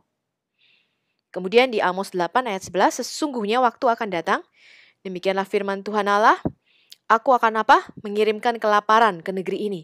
Bukan kelaparan akan makanan, dan bukan kehausan akan akan air, melainkan akan apa? Mendengarkan firman Hashem. Ya. Kemudian Lukas 22 ayat 19, Yesus mengambil roti, dia mengucap syukur, dia memecah-mecahkannya dan memberikannya kepada mereka katanya. Inilah tubuhku yang diserahkan bagi kamu. Perbuatlah ini menjadi peringatan akan aku. Ya, jadi roti yang tidak beragi itu adalah perumpamaan tentang tubuh Yesus ya yang akan diremukkan di kayu salib sebagai penebus dosa. Makanya hanya orang Yahudi yang punya perayaan Paskah. Nah ya, bangsa lain atau agama lain tuh nggak ngerti maksudnya Yesus ya perayaan Paskah itu tubuhnya itu harus di, dipecahkan atau harus diremukkan ya. Nanti kita ketika kita belajar uh, Hamoyadim. Jadi perayaan-perayaan ditetapkan Tuhan yaitu ada tujuh perayaan yang harus dirayakan oleh orang Israel. Salah satunya adalah Paskah atau Pesak ya. Nanti kita akan melihat di situ gambaran tentang Yesus. Ini kata-kata Yesus ya teman-teman, saya suka sekali, makanya saya selalu mengutip Yesus tuh kalau berkata-kata tuh powerful, penuh kuasa, ya, nggak kaleng-kaleng kalau ngomong. Bukan uh, semoga atau moga-moga, mudah-mudahan, nggak ada. Yesus kalau berkata tuh pasti, makanya dia selalu berkata aminnya di depan. Jesus said, I am the bread of life. Whoever comes to me will never hunger, and whoever believes in me will never thirst. Wow. Wow, ya Yesus kalau berkata tuh luar biasa. Sosok yang sangat mengagumkan. Yesus adalah sumber kehidupan. Nah, di Yohanes 6 ayat 53 sampai 58, Yesus mengatakan demikian nih. Maka kata Yesus kepada mereka, Aku berkata kepadamu, sesungguhnya, jikalau kamu tidak makan daging anak manusia dan minum darahnya, kamu tidak mempunyai hidup di dalam dirimu. Barang siapa makan dagingku dan minum darahku, ia mempunyai hidup yang kekal, dan aku akan membangkitkan dia pada akhir zaman. Siapa yang akan membangkitkan? Yesus. Sebab dagingku adalah benar-benar makanan dan darahku adalah benar-benar minuman. Barang siapa makan dagingku dan minum darahku, ia tinggal di dalam aku, dan aku di dalam dia. Sama seperti Bapa yang hidup mengutus aku, dan aku hidup oleh Bapa. Demikian juga barang siapa yang memakan aku, akan hidup oleh aku. Inilah roti yang telah turun dari surga. Bukan roti seperti yang dimakan nenek moyangmu, mereka telah mati. Barang siapa makan roti ini, ia akan hidup selama-lamanya. Nah nanti ketika kita membahas go to the Bible ya dari mulai kejadian sampai Wahyu nanti kita akan bahas nih apa maksudnya Yesus berkata kamu harus makan dagingku dan minum darahku. Ya jadi kita harus cerdas ya teman-teman. Maka Yesus berkata berkata apa? Aku mengatakan kepadamu hal-hal yang rohani supaya kamu tuh menangkap maksudnya. Makanya orang yang tidak punya Roh Kudus dan tidak cerdas rohani itu susah menangkap kata-kata Yesus. Bingung terus dia tuh, muter terus di sini. Ya. Nah, seluruh sejarah mengatakan Tuhan melarang kita minum darah. Ya, karena di dalam darah itu ada nyawa dan Tuhan mengatakan barang siapa minum darah, aku pasti akan membunuhnya. Dia pasti mati. Ya, makanya kalau kita minum darah binatang apa pun, penyakitnya itu ikut masuk, teman-teman. Kan di dalam darah itu sumber segala penyakit, kanker dan sebagainya itu keluarnya dari dalam darah. Nah, ketika Tuhan mengatakan jangan minum darah apa pun karena aku telah memberikan darah itu menjadi pendamaian bagi nyawamu karena darah memberikan pendamaian dengan perantara nyawa. Dalam satu sejarah, Yesus berdiri dan berkata, dia memegang cawan berisi anggur itu. Dia berkata begini, minum, ini darahku. Ya, nah nanti kita belajar yang namanya the blood atonement ini sesi khusus. Kita akan bahas secara tuntas dan jelas ya mengenai penebusan oleh karena darah. Jadi Anda harus melihat konsepnya itu dari kitab Kejadian sampai Wahyu. Nah itu butuh waktu. Anda harus telennya pelan-pelan teman-teman. Ya, nggak bisa langsung sekaligus ditelen. Makanya saya kasih Anda pelan, pelan, pelan per bab. Ya nanti kita akan belajarnya pelan-pelan tuh. Supaya Anda mengerti konsepnya. Makanya nanti ketika sampai di kitab Yohanes ini Anda langsung ngerti, oh itu maksudnya Yesus. Gitu ya. Salah satu nama Allah itu adalah Ar-Razak, sang penyedia segala yang rohani dan material. Artinya yang Esa yang menciptakan semua sarana materi, makanan spiritual dan jasmani. Dialah yang menyediakan segala yang dibutuhkan atau rizki. Itu berarti bahwa dia menganugerahkan semua sarana dukungan dan pertumbuhan untuk tubuh, pikiran, dan kehidupan spiritual. Tadi kita lihat ya, Yesus mengatakan aku ini roti hidup yang turun dari surga. Aku ini terang hidup, apalagi. Aku ini adalah air hidup, kata Yesus. Ya, Dia menyediakan semua untuk kebutuhan spiritual kita, pikiran kita, dan apa? Dan tubuh kita. Yesus itu paling tahu loh teman-teman ketika dia mengatakan kamu harus mengampuni musuhmu. Karena apa? Kepahitan dan dendam itu menyebabkan semua penyakit kanker. Betul nggak? Semua penyakit yang ada di dalam diri kita. Jadi dia tuh tahu bahwa obat untuk jiwa kita ini itu adalah apa? Pengampunan. Ya, ketika hati kita tuh tenang, jiwa kita itu tenang, ya. Enggak sedikit-sedikit bunuh orang, penggal kepala orang. Itu teman-teman ya itu membuat uh tekanan darah kita naik turun tuh ya. Nah tapi ketika kita tuh damai kita tuh tenang kita bisa mengasihi orang itu adalah kebutuhan spiritual ya. Kalau kebutuhan jasmani nggak usah ditanya. Yesus satu-satunya yang bisa menggandakan lima roti dan dua ikan memberi makan lima ribu orang dan itu kejadian dua kali teman-teman. Ya jadi dia adalah pembuat mujizat itu ya nggak ada yang lain tuh. Bahkan di kitab uh, di Quran sendiri ditulis Al-Maidah. Wow Yesus menurunkan makanan dari langit. Ikan paus katanya. Ya turun dari langit. Bukan teman-teman itu ikan ikan kecil tuh loh. Dua uh, apa uh, lima roti dan dua ekor ikan kecil. Ya itu makanan uh, orang biasa. Ya itu yang digandakan Yesus. Ya bukan ikan paus yang turun dari langit. Ini adalah bukti ketiga, bukti terakhir di video kita kali ini. Yesus adalah gembala yang baik. Jadi Yesus mengatakan demikian, Aku ini ego Amy, gembala yang baik. Gembala yang baik memberikan nyawanya bagi domba dombanya. Akulah gembala yang baik. Dan aku mengenal domba-dombaku dan domba-dombaku mengenal aku. Sama seperti Bapa mengenal aku dan aku mengenal Bapa. Dan aku memberikan nyawaku bagi domba-dombaku. Wow. Ya, Yesus meramalkan kematiannya sendiri di sini, ya. Ada lagi padaku domba-domba lain, bukan dari kandang ini, bukan dari bangsa Israel, ya, tapi dari goyim atau bangsa-bangsa lain. Domba-domba itu harus kutuntun juga, dan mereka akan mendengarkan suaraku. Dan mereka akan menjadi satu kawanan dengan satu gembala. Bapa mengasihi aku, oleh karena aku memberikan nyawaku untuk menerimanya kembali. Tidak seorang pun mengambilnya daripadaku, melainkan aku memberikannya menurut kehendakku sendiri. Aku berkuasa memberikannya dan berkuasa mengambilnya kembali. Inilah tugas yang kuterima dari Bapakku. Ya makanya ketika Yesus hidup di dunia karena dia kudus, dia nggak bisa mati. Alkitab mengatakan upah dosa adalah maut. Begitu kita berdosa, cepat atau lambat, kematian itu nggak akan ketuk pintu atau permisi ya dia akan datang cepat atau lambat ya jadi upah dosa adalah kematian karena itu semua orang telah berdosa semua dari kita harus mati ya nah Yesus selama dia hidup di dunia itu dia kudus teman-teman makanya ketika disalib dikatakan dia yang tidak berdosa dijadikan dosa supaya kita dibenarkan di hadapan Allah semua dosa umat manusia pada waktu Yesus disalib itu ditimpakan kepada dia supaya apa? Supaya Yesus bisa mati. Kalau enggak dia nggak bisa mati, dia nggak bisa turun ke dunia orang mati. Ya makanya Bapa memalingkan wajahnya. Dan Yesus mengatakan apa? Eloi, Eloi, lama sabaktani. Ya, dia seumur hidup selalu memanggil Allah sebagai bapaknya. Ketika disalib, dia berkata, Eloi, Eloi, Allahku, ya Allahku, mengapa engkau meninggalkan aku? Ya, dia mengutip Mazmur 22, nubuatan tentang dia itu, Ya, Mazmur 22 itu adalah Eli, Eli, lama sebaktani. Ya, Allahku, Allahku, mengapa engkau meninggalkan aku? Ya, kemudian di Mazmur 22 itulah nubuatan mengenai dia akan menusuk tangan dan kakiku. 750 tahun sebelum hukuman salib itu di, ditemukan. Ya, dia dijadikan kutuk. Dia adalah ular tembaga Musa itu. Ya, artinya dia dijadikan substitusi atau pengganti kita. Gitu ya teman-teman ya. Jadi Ketika di atas salib itulah supaya Yesus bisa mati, semua dosa umat manusia dan kutuk itu ditimpakan kepada dia. Murka Allah, penghukuman Allah itu ditimpakan ke atas dia supaya apa Yesus bisa turun ke dunia orang mati dan mengambil kunci maut dan kerajaan maut. Makanya ketika dia di hadapan Pontius Pilatus, Pontius Pilatus mengatakan demikian, kamu kok diem aja sih? Nubuatan Nabi Yesaya mengatakan dia akan seperti domba yang keluh, diem aja dia ya yang dibawa ke pembantaian. Dia akan diam saja dia tidak membuka mulutnya. Ya dia seperti domba yang keluh katanya dibawa ke pembantaian. Itu nubuatan Nabi Yesaya.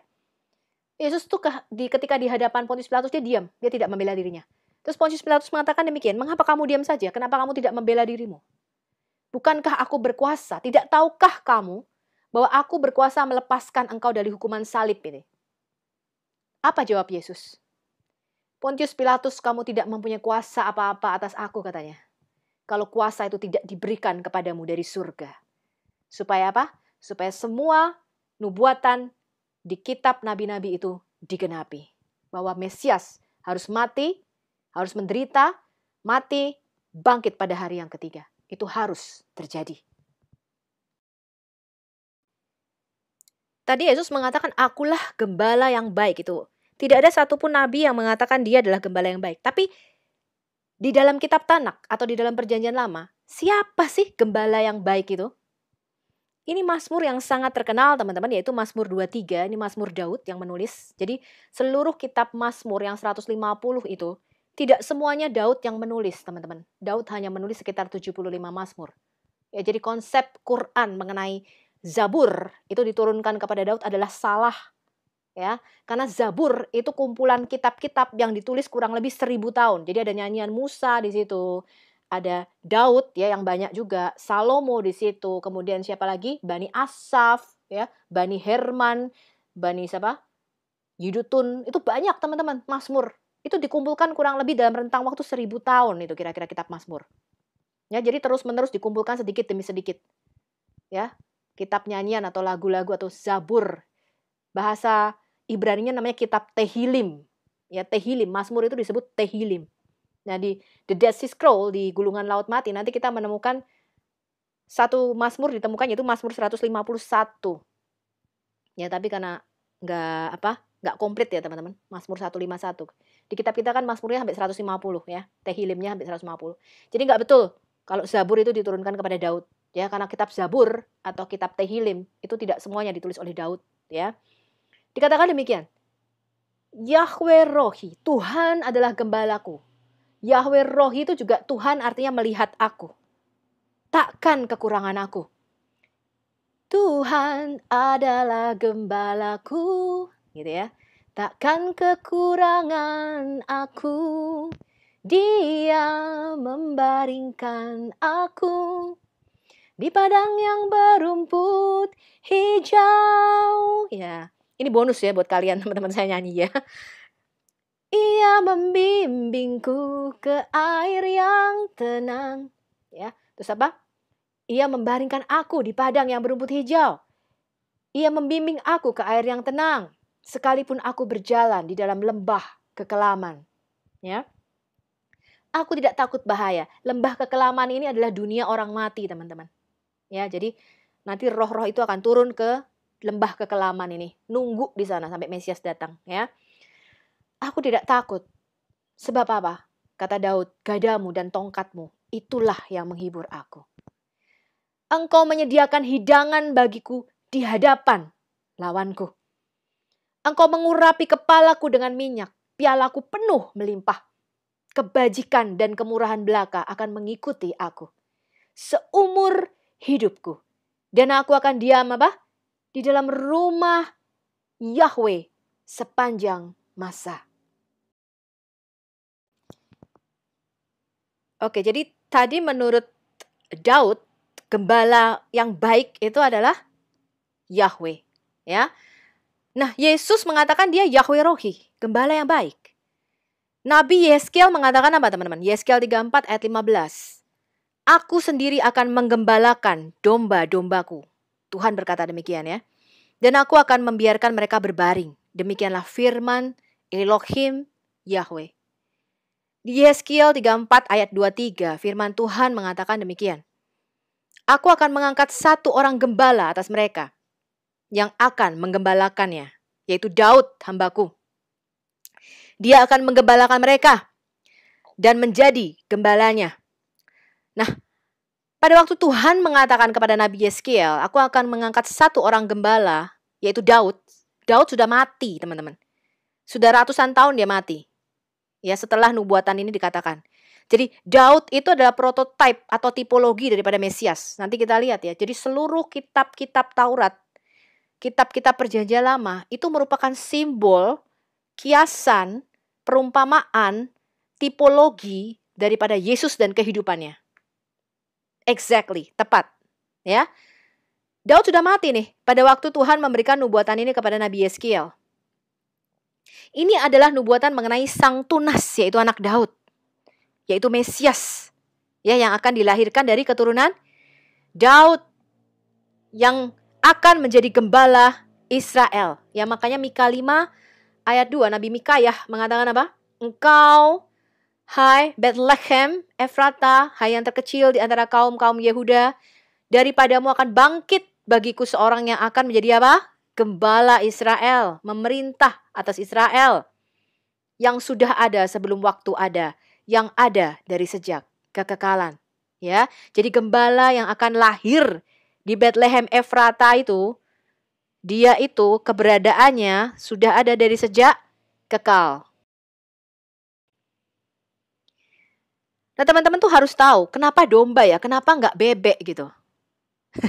tahu ya, kenapa nggak gembala bebek?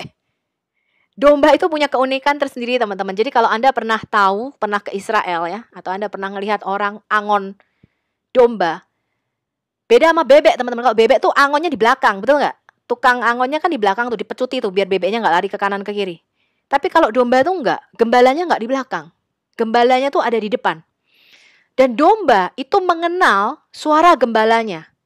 Ya, jadi ketika gembala itu duduk makan siang, terus domba-domba itu juga merumput, teman-teman. Kecampur nih domba-dombanya nih di Israel. Tapi begitu gembalanya berdiri, dia memberikan siulan gitu ya atau apa ya? tanda, sinal gitu ya.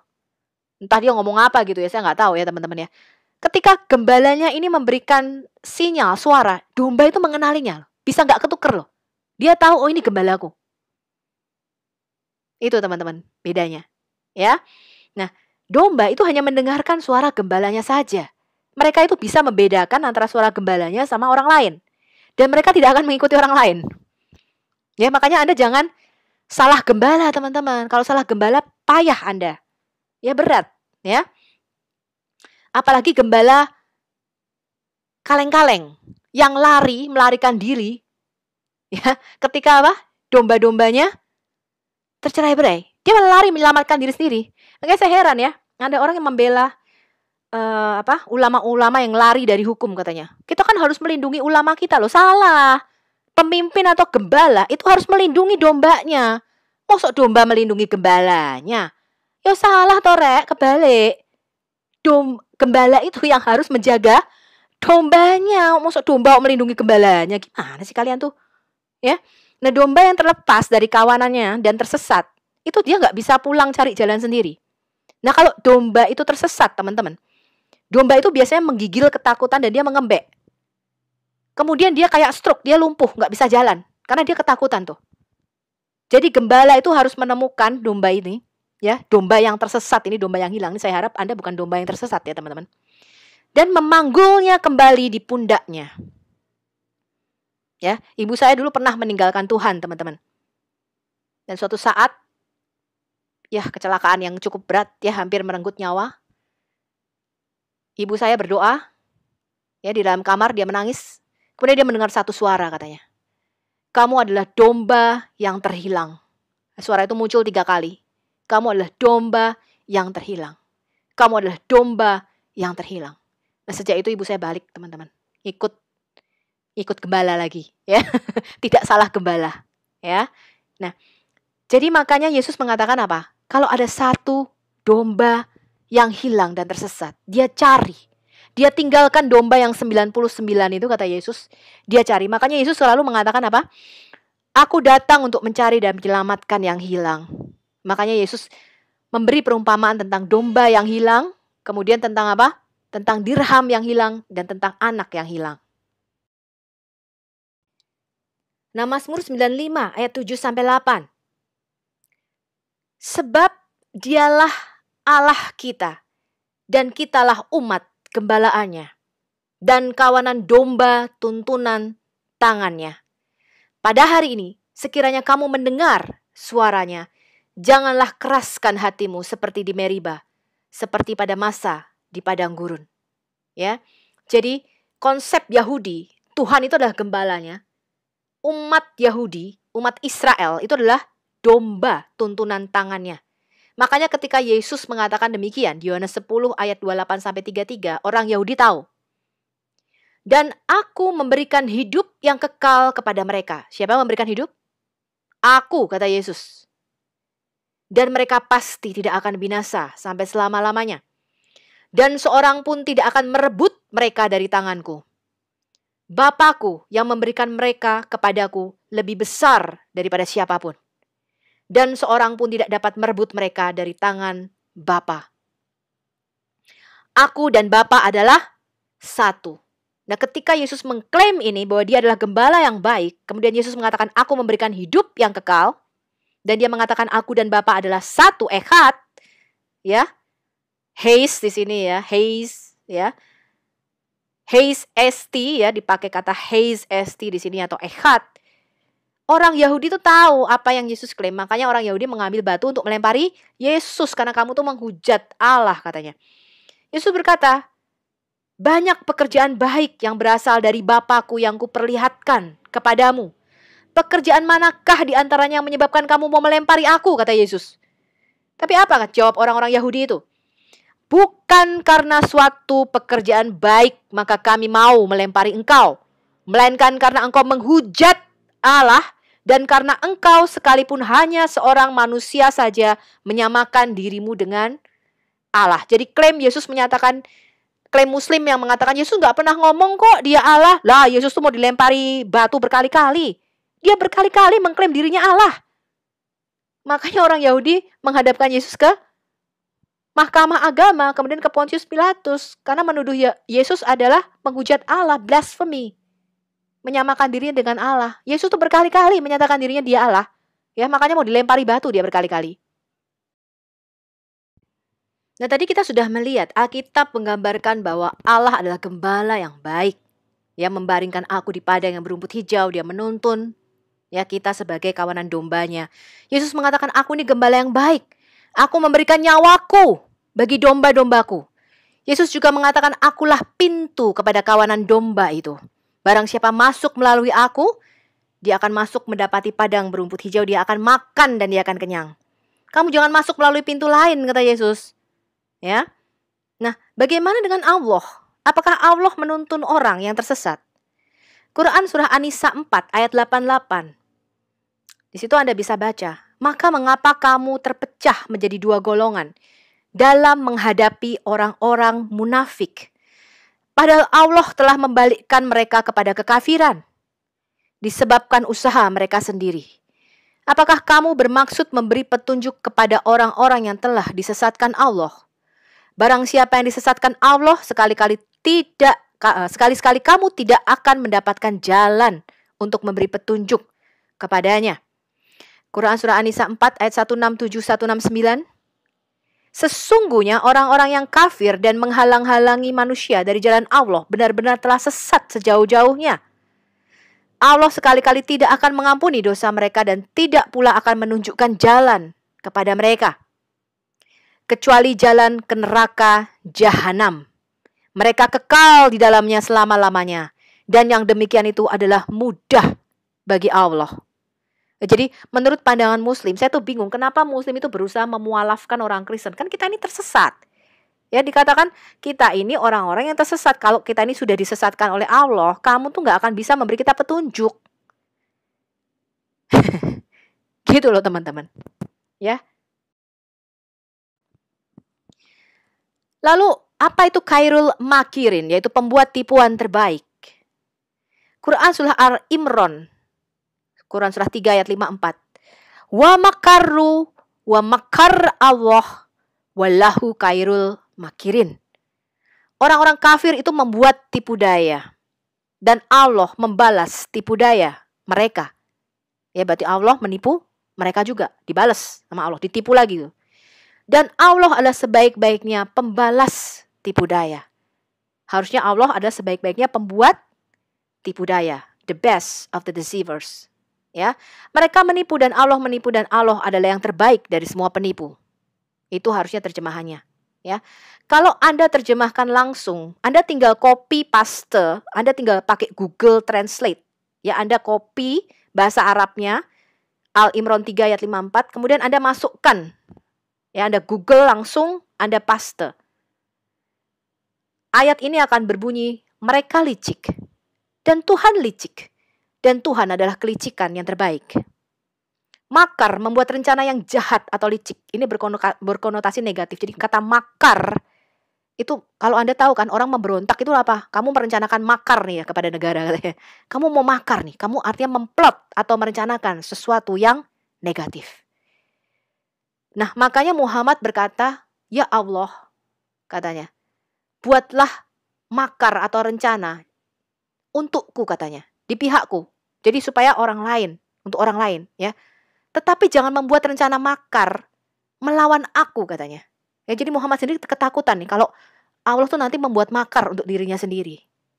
Ya. Nah. Mazmur 101 ayat 7 mengatakan apa? Orang yang melakukan tipu daya tidak akan diam di dalam rumahku. Orang yang berbicara dusta tidak akan tegak di depan mataku. Amsal 12 ayat 20. Tipu daya ada di dalam hati orang yang merencanakan kejahatan. Tetapi orang yang menasehatkan kesejahteraan mendapat sukacita. Yohanes 8 ayat 44. Iblislah yang menjadi bapamu. Dan kamu ingin melakukan keinginan-keinginan bapamu. Ia adalah pembunuh manusia sejak semula dan tidak hidup dalam kebenaran, sebab di dalam dia tidak ada kebenaran. Apabila ia berkata dusta, licik atau menipu, ia berkata atas kehendaknya sendiri, sebab ia adalah pendusta dan bapa segala dusta. Kalau tadi dikatakan barang siapa disesatkan, dia tidak akan mendapatkan petunjuk dari Allah. Bagaimana dengan Yesus? Yeremia 24 ayat 7, Tuhan berkata, Aku akan memberi mereka suatu hati untuk mengenal aku. Yaitu bahwa akulah Yahweh. Mereka akan menjadi umatku dan aku ini akan menjadi Allah mereka. Sebab mereka akan bertobat kepadaku dengan segenap hatinya. Jadi Tuhan mengatakan aku akan memberikan kamu hati yang baru katanya. Ya dan aku akan menjauhkan kepadamu hati yang keras. Nah, itu kata Tuhan ya. Yesaya 65 ayat 1 Tuhan berkata, Aku telah berkenan memberi petunjuk kepada orang yang tidak menanyakan aku. Makanya banyak orang yang dulu tidak kenal Yesus itu ditemui oleh Tuhan Yesus. Ya, ada yang ditemui dalam mimpi. Banyak orang muslim ditemui dalam mimpi ya. Kalau Anda lihat di kesaksian-kesaksian ya. Yesus mengatakan akulah jalan kebenaran dan hidup. Lalu orang itu bingung, maksudnya apa nih jalan kebenaran dan hidup? Ya nggak pernah dengar dia firman ini, ya. Nah, aku telah berkenan ditemukan oleh orang yang tidak mencari aku. Wah, ini Tuhan kita dahsyat, teman-teman. Aku telah berkata, ini aku, ini aku kepada bangsa yang tidak memanggil namaku. Yesus datang mencari dan menyelamatkan orang berdosa. Ya, kalau Anda lihat di Lukas 15 dan Matius 18, Ya, ini Lukas 15, sorry ada perumpamaan tentang apa? Dirham yang hilang, domba yang hilang, anak bungsu yang hilang. Jadi Tuhan itu mencari dan menyelamatkan yang hilang. Jadi kita ini yang terhilang. Tuhan datang cari kita. Ya, kalau handphone saya hilang, handphonenya nggak bisa dong cari saya, harus saya yang cari handphone gitu loh. Karena handphonenya tuh milik saya. Ya, begitu juga dengan Tuhan di Matius 18 ayat 11. Yesus berkata demikian, karena sang anak manusia yaitu Mesias datang untuk menyelamatkan yang hilang. Jadi Yesus itu datang kepada miliknya sendiri dikatakan. Untuk apa? Mencari kita ini loh yang terhilang kayak domba tadi loh. Kita tuh cuma mengembek, menggigil kedinginan. Ya. Kitalah yang terhilang bukan Tuhan. Kita tidak bisa mencari jalan pulang. Tuhan datang cari kita. Itulah bedanya kekristenan. Jadi agama itu adalah upaya manusia mencari Tuhan. Kok bisa? Tuhan emangnya hilang ke mana gitu loh. Tetapi kekristenan adalah upaya Tuhan datang mencari kita yang terhilang. Ya, beda arah teman-teman antara agama dan kekristenan ini nggak nyambung. Ya itulah sebabnya Yesus berkata, di mana aku berada, di situ pun kamu akan berada. Dan aku pulang kembali kepada Bapa, aku mempersiapkan tempat bagi kamu, kata Yesus. Ya, kemudian di Markus 2 ayat 17, Yesus berkata demikian, Bukan orang sehat yang memerlukan tabib, tapi orang sakit. Aku datang ke dunia ini katanya, bukan untuk memanggil orang benar, melainkan orang berdosa. Beda konsep gak tadi? Beda ya teman-teman ya? Nah ini dahsyatnya Tuhan kita, bukan hanya dia memberikan petunjuk, bukan hanya dia menampakkan diri kepada bangsa yang tidak mengenal dan mencari Tuhan. Dia memberikan kepada kita hati dan roh yang baru untuk kita mengenal Tuhan. Yehezkiel 11 ayat 19 berkata, Aku akan memberikan mereka hati yang lain dan apa? Roh yang baru di dalam batin mereka. Juga aku akan menjauhkan dari tubuh mereka hati yang keras dan memberikan mereka hati yang lembut. Ya. Yeskel 36 ayat 26. Kamu akan kuberikan hati yang baru dan roh yang baru di dalam batinmu dan aku akan menjauhkan dari tubuhmu hati yang keras, dan kuberikan kepadamu hati yang lembut. Yeremia 24 ayat 7. Aku akan memberi mereka suatu hati untuk mengenal aku, yaitu bahwa akulah Hashem. Ya, mereka akan menjadi umatku dan aku ini akan menjadi Allah mereka. Sebab mereka akan bertobat kepadaku dengan segenap hatinya. Amin. Nah, dari kata inilah kita mendapatkan yang namanya Alkitab The New Testament atau Perjanjian Baru. Ya, karena janji Tuhan di kitab Yeremia 31 ayat 31 sampai 34. Sesungguhnya akan datang waktunya, demikianlah firman Hashem. Aku akan mengadakan apa? The new covenant, suatu perjanjian yang baru dengan kaum Israel dan kaum Yehuda. Ini nubuatan double prophecy, ya.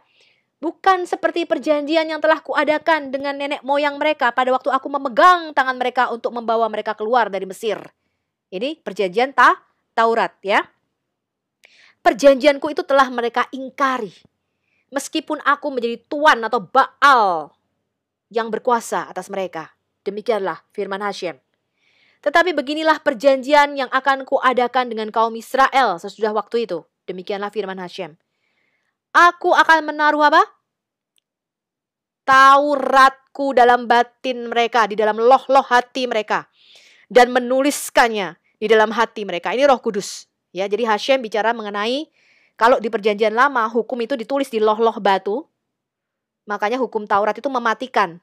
Ya, ketika hukum Taurat itu turun yaitu di hari Safuat, hari raya Pentakosta, 3000 orang mati pada waktu itu ya mereka akan membuat anak lembu emas jadi pada hari itu ketika hukum Taurat itu diberikan dua loh batu itu diberikan 3000 orang mati tapi di perjanjian baru begitu roh kudus itu dicurahkan begitu Taurat itu ditulis di dalam hati kita ya roh kita dibaharui kata Tuhan ya kemudian roh kudus itu turun atas kita 3000 orang diselamatkan pada waktu itu dan dibaptis ya itu bedanya aku akan menaruh Tauratku tidak lagi di batu kata Tuhan tapi apa di dalam batin mereka, di dalam rohmu itu aku akan menuliskannya. Maka aku akan menjadi Allah mereka dan mereka akan menjadi apa? Umatku. Dan Tuhan berkata demikian. Gak usah lagi orang mengajar sesamanya atau mengajar saudaranya dengan mengatakan kenallah Hashem. Sebab mereka semua besar kecil akan mengenal aku. Demikianlah firman Hashem. Sebab aku akan mengampuni kesalahan mereka dan tidak lagi mengingat dosa mereka. Ya, and your since I will remember no more, kata Tuhan. Nah, perjanjian yang baru ini tadi bicara apa? Bicara mengenai kedatangan Roh Kudus. Di dalam Yoel 2 ayat 28 sampai 32 ini janji Tuhan. Kemudian daripada itu akan terjadi bahwa aku akan mencurahkan apa? Rohku ke atas semua manusia maka anak-anakmu laki-laki dan perempuan akan bernubuat. Orang-orangmu yang tua akan mendapat mimpi.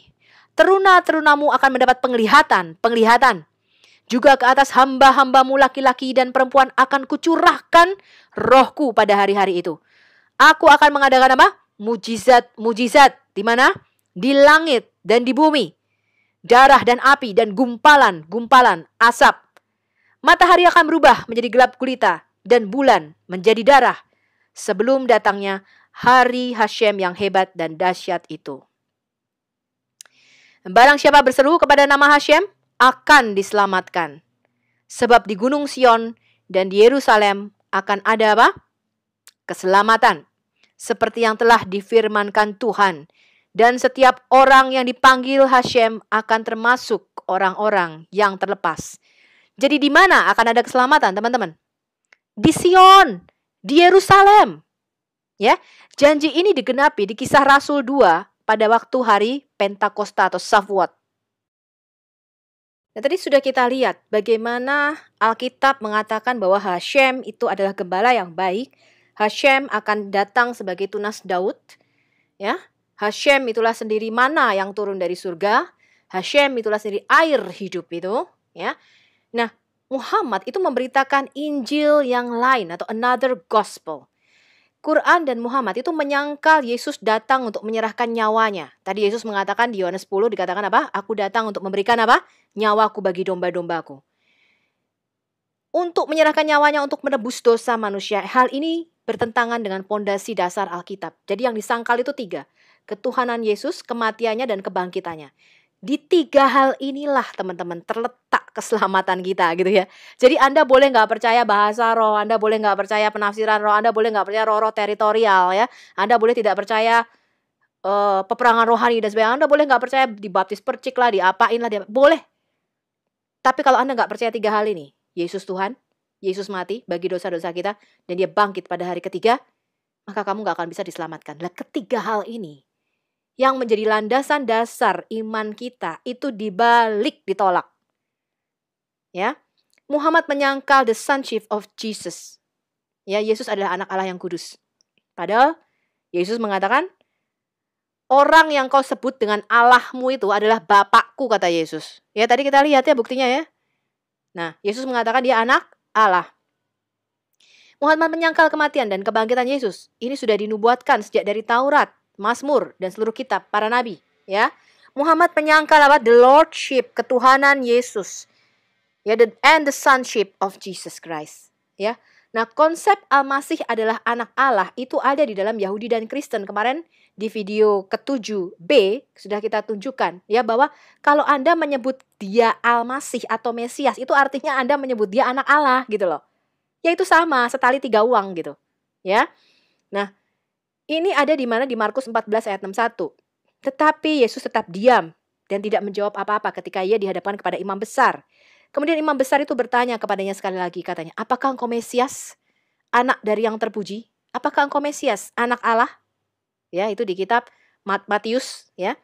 Kemudian di 1 Yohanes 2 ayat 22, siapakah pendusta itu? Bukankah dia yang menyangkal bahwa Yesus adalah Al-Masih? Ya, Al-Masih dalam konsep Yahudi adalah anak Allah. Ya. Siapa yang menyangkal bahwa Yesus adalah Al-Masih? Dia itu adalah Al-Masih Dajjal, antikristus. Yaitu dia yang menyangkal siapa? Baik bapa maupun anak. Jadi Muhammad memberitakan Injil yang lain. Di Galatia 1 ayat 8, tetapi sekalipun kami atau seorang malaikat dari surga yang memberitakan kepada kamu suatu Injil yang berbeda dengan Injil yang telah kami berikan kepadamu apa? Terkutuklah dia. Oke teman-teman, tadi sudah ada tiga bukti. Kita akan lanjutkan ke video 8b. ya, di mana Yesus mengatakan dia adalah Hashem. Silahkan Anda boleh download dan sharingkan video ini. Semoga menjadi berkat bagi seluruh teman-teman di Indonesia. Yohanes 14 ayat 6 mengatakan, Yesus berkata, Akulah jalan dan kebenaran dan hidup. Tidak ada seorang pun yang datang kepada Bapa kalau tidak melalui aku.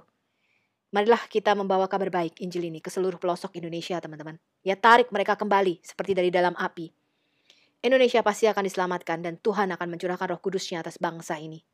Amin. Ya teman-teman sekalian, demikianlah materi yang disampaikan oleh Ibu Sofiatul Al-Hayat. Biarlah kiranya materi ini dapat bermanfaat bagi kita, menolong kita untuk uh, semakin memahami iman kita, semakin uh, membuat kita percaya kepada Yesus Kristus. Dialah satu-satunya Tuhan dan Juru Selamat kita yang benar, yang uh, pasti bahkan di dalam sejarah pun tidak uh, melawan sejarah gitu ya. Ini adalah pribadi yang betul-betul uh, dibahas di dalam sejarah ya. Dia dibahas mengenai kelahirannya, dia dibahas di dalam sejarah mengenai kehidupannya dan juga Yesus itu dibahas di dalam sejarah tentang kematiannya teman-teman. Kita bisa melihat itu di dalam sejarah gitu ya. Jadi firman Tuhan itu mengenai kehidupan Yesus dibuktikan juga di dalam sejarah gitu loh. Nah, kalau ada yang kemudian mengatakan Yesus atau Isa katakanlah ya yang konon katanya mereka samakan itu yang kemudian uh, dikatakan uh, dia tidak pernah disalibkan malah digantikan dengan yang lain kita sebagai orang Kristen jangan mempercayai hal itu teman-teman karena Yesus kita itu adalah Yesus yang uh, mati lewat disalibkan dan naik ke surga gitu loh teman-teman. Lalu kemudian kalau ada tokoh lain yang menye, yang konon katanya namanya sama, lalu uh, kelahirannya dari perawan sama, tetapi kalau dia tidak disalibkan, maka kita tidak boleh mengakui itu sebagai tokoh yang sama dengan Yesus. Pasti itu adalah tokoh yang berbeda yang tidak boleh kita percaya sebagai orang Kristen teman-teman. Ya, pembahasan Ibu Sofia uh, dalam uh, video ini teman-teman memang sangat luar biasa ya teman-teman. karena kita diberikan kuliah gratis oleh beliau. Uh, tidak kita dapatkan materi-materi yang demikian bagusnya di mana pun ya. Kecuali di dalam uh, pembahasan-pembahasan Ibu Sofiatul yang dibahas di dalam channel ini juga teman-teman. Maka saya meminta kepada teman-teman mari kita dukung terus channel ini ya. Lewat uh, subscribe, like, komen dan share. Sehingga video-video dari channel ini boleh berkembang luas ke banyak orang-orang di luar sana. Terutama saya meminta ke teman-teman untuk share video ini ke media, sosial teman-teman ya. Agar apa? Banyak orang di luar sana yang belum pernah men- mengetahui fakta-fakta terbaru tentang hal ini. Mungkin masih banyak dari mereka yang betul-betul percaya bahwa sosok Isa dan Yesus itu adalah sosok yang sama, pribadi yang sama, memiliki kehidupan yang sama, teman-teman. Ini mereka harus dirubah pengetahuannya lewat fakta-fakta yang dibahas di dalam video ini, teman-teman. Nah, lewat teman-teman share video-video dari channel ini ke media sosial teman-teman juga, menolong banyak orang di luar sana yang terlanjur mempercayai hal-hal yang saya sebutkan tadi, dan mereka akhirnya mengetahui kebenaran yang sejati bahwa Yesus itu adalah sosok yang jauh berbeda tentang dengan Isa yang dibahas dalam Quran yang tidak pernah disalibkan, bahkan yang dikatakan digantikan di sana ya. Yesus adalah sosok yang berbeda, Yesus adalah sosok yang lebih baik daripada Isa, bahkan Yesus adalah juru selamat dan Tuhan kita teman-teman sekalian. Oke teman-teman, uh, demikian video kita. Saya minta teman-teman sekali lagi mari dukung terus channel ini. Oke teman-teman, kita akan mengakhiri video kita kali ini, tapi sebelumnya mari kita merenungkan satu kebenaran firman Tuhan yang terdapat di dalam 2 Petrus 2 ayat 20. Mari kita baca bersama-sama teman-teman. Sebab jika mereka oleh pengenalan mereka akan Tuhan dan Juru Selamat kita, Yesus Kristus telah melepaskan diri dari kecemaran-kecemaran dunia, tetapi terlibat lagi di dalamnya, maka akhirnya keadaan mereka lebih buruk daripada yang semula. Nah, teman-teman sekalian, firman Tuhan ini mengingatkan kita bahwa kita yang telah mengenal bahkan percaya kepada Yesus Kristus telah dilepaskan ya, telah melepaskan diri daripada kecemaran-kecemaran dunia. Artinya disebut di sini adalah pertobatan, teman-teman ya. Ketika kita mengenal Kristus, kita percaya kepadanya, kita bertobat meninggalkan kehidupan kita yang buruk. Ya, masa lalu mungkin ya teman-teman sendiri tahulah masa lalunya seperti apa dulu gitu ya. Lalu kemudian berjumpa dengan Yesus dan percaya kepada Yesus, maka teman-teman akan meninggalkan segala sesuatu yang buruk karena Yesus itu menyuruh kita untuk meninggalkan semua yang buruk-buruk itu dan memulai hidup yang baru. Tetapi dikatakan di sini apabila kita memulai kehidupan yang baru, tetapi kemudian kita mengulangi lagi kehidupan-kehidupan kita di masa lalu yang buruk itu, di sini dikatakan mereka lebih buruk daripada semula. Wah, ini teman-teman harus kita hati-hati ya teman-teman ya. Karena kenapa?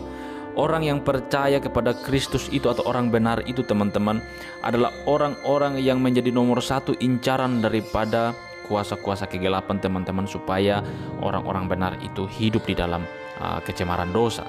Nah, kalau kita sudah memberi diri kita, memberikan peluang kepada kuasa-kuasa kegelapan itu untuk menarik kita untuk hidup di dalam dosa, maka sudah tentu teman-teman ya, kita akan hidup di dalamnya dan kehidupan kita dikatakan yang dulunya mungkin ketika kita berbuat dosa sebelum mengenal Kristus biasa-biasa saja. Di sini dikatakan setelah kita kenal Kristus lalu kemudian kita kembali ke dosa itu, kita akan lebih buruk melakukannya atau lebih hebat melakukannya dibandingkan dengan yang sebelumnya. Nah, ini hati-hati teman-teman ya, hati-hati. Mari kita menjaga diri kita. Mari kita menjaga persekutuan kita dengan Kristus ya. Supaya kenapa? Supaya kita tetap uh, berada di dalam kebenaran teman-teman. Kita harus menjaga kekudusan hidup kita. Faktornya itu sangat penting teman-teman ya. Kenapa? Pertama, ketika kita menjaga hubungan kita dengan Kristus, kita memiliki uh, koneksi yang baik dengan Tuhan, kita memiliki komunikasi yang baik dengan Tuhan. Lalu yang kedua adalah ketika kita menjaga kekudusan hidup kita, kita menjadi berkat bagi orang-orang di sekitar kita. Kita menjadi teladan, kita menjadi uh, terang, kita menjadi uh, apa namanya orang-orang yang kemudian dapat membawa orang-orang lain kepada kebenaran.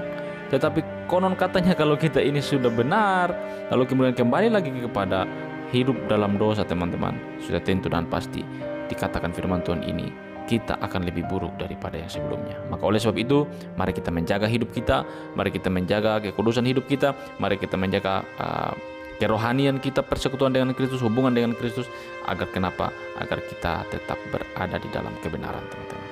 Oke, teman-teman, kita akan mengakhiri video kita, demikian renungan kita juga. Kita akan berjumpa kembali di video selanjutnya, teman-teman. Mari terus dukung channel ini lewat subscribe, like, komen, dan share. Sampai jumpa di video selanjutnya. Tuhan Yesus memberkati teman-teman semuanya. Shalom.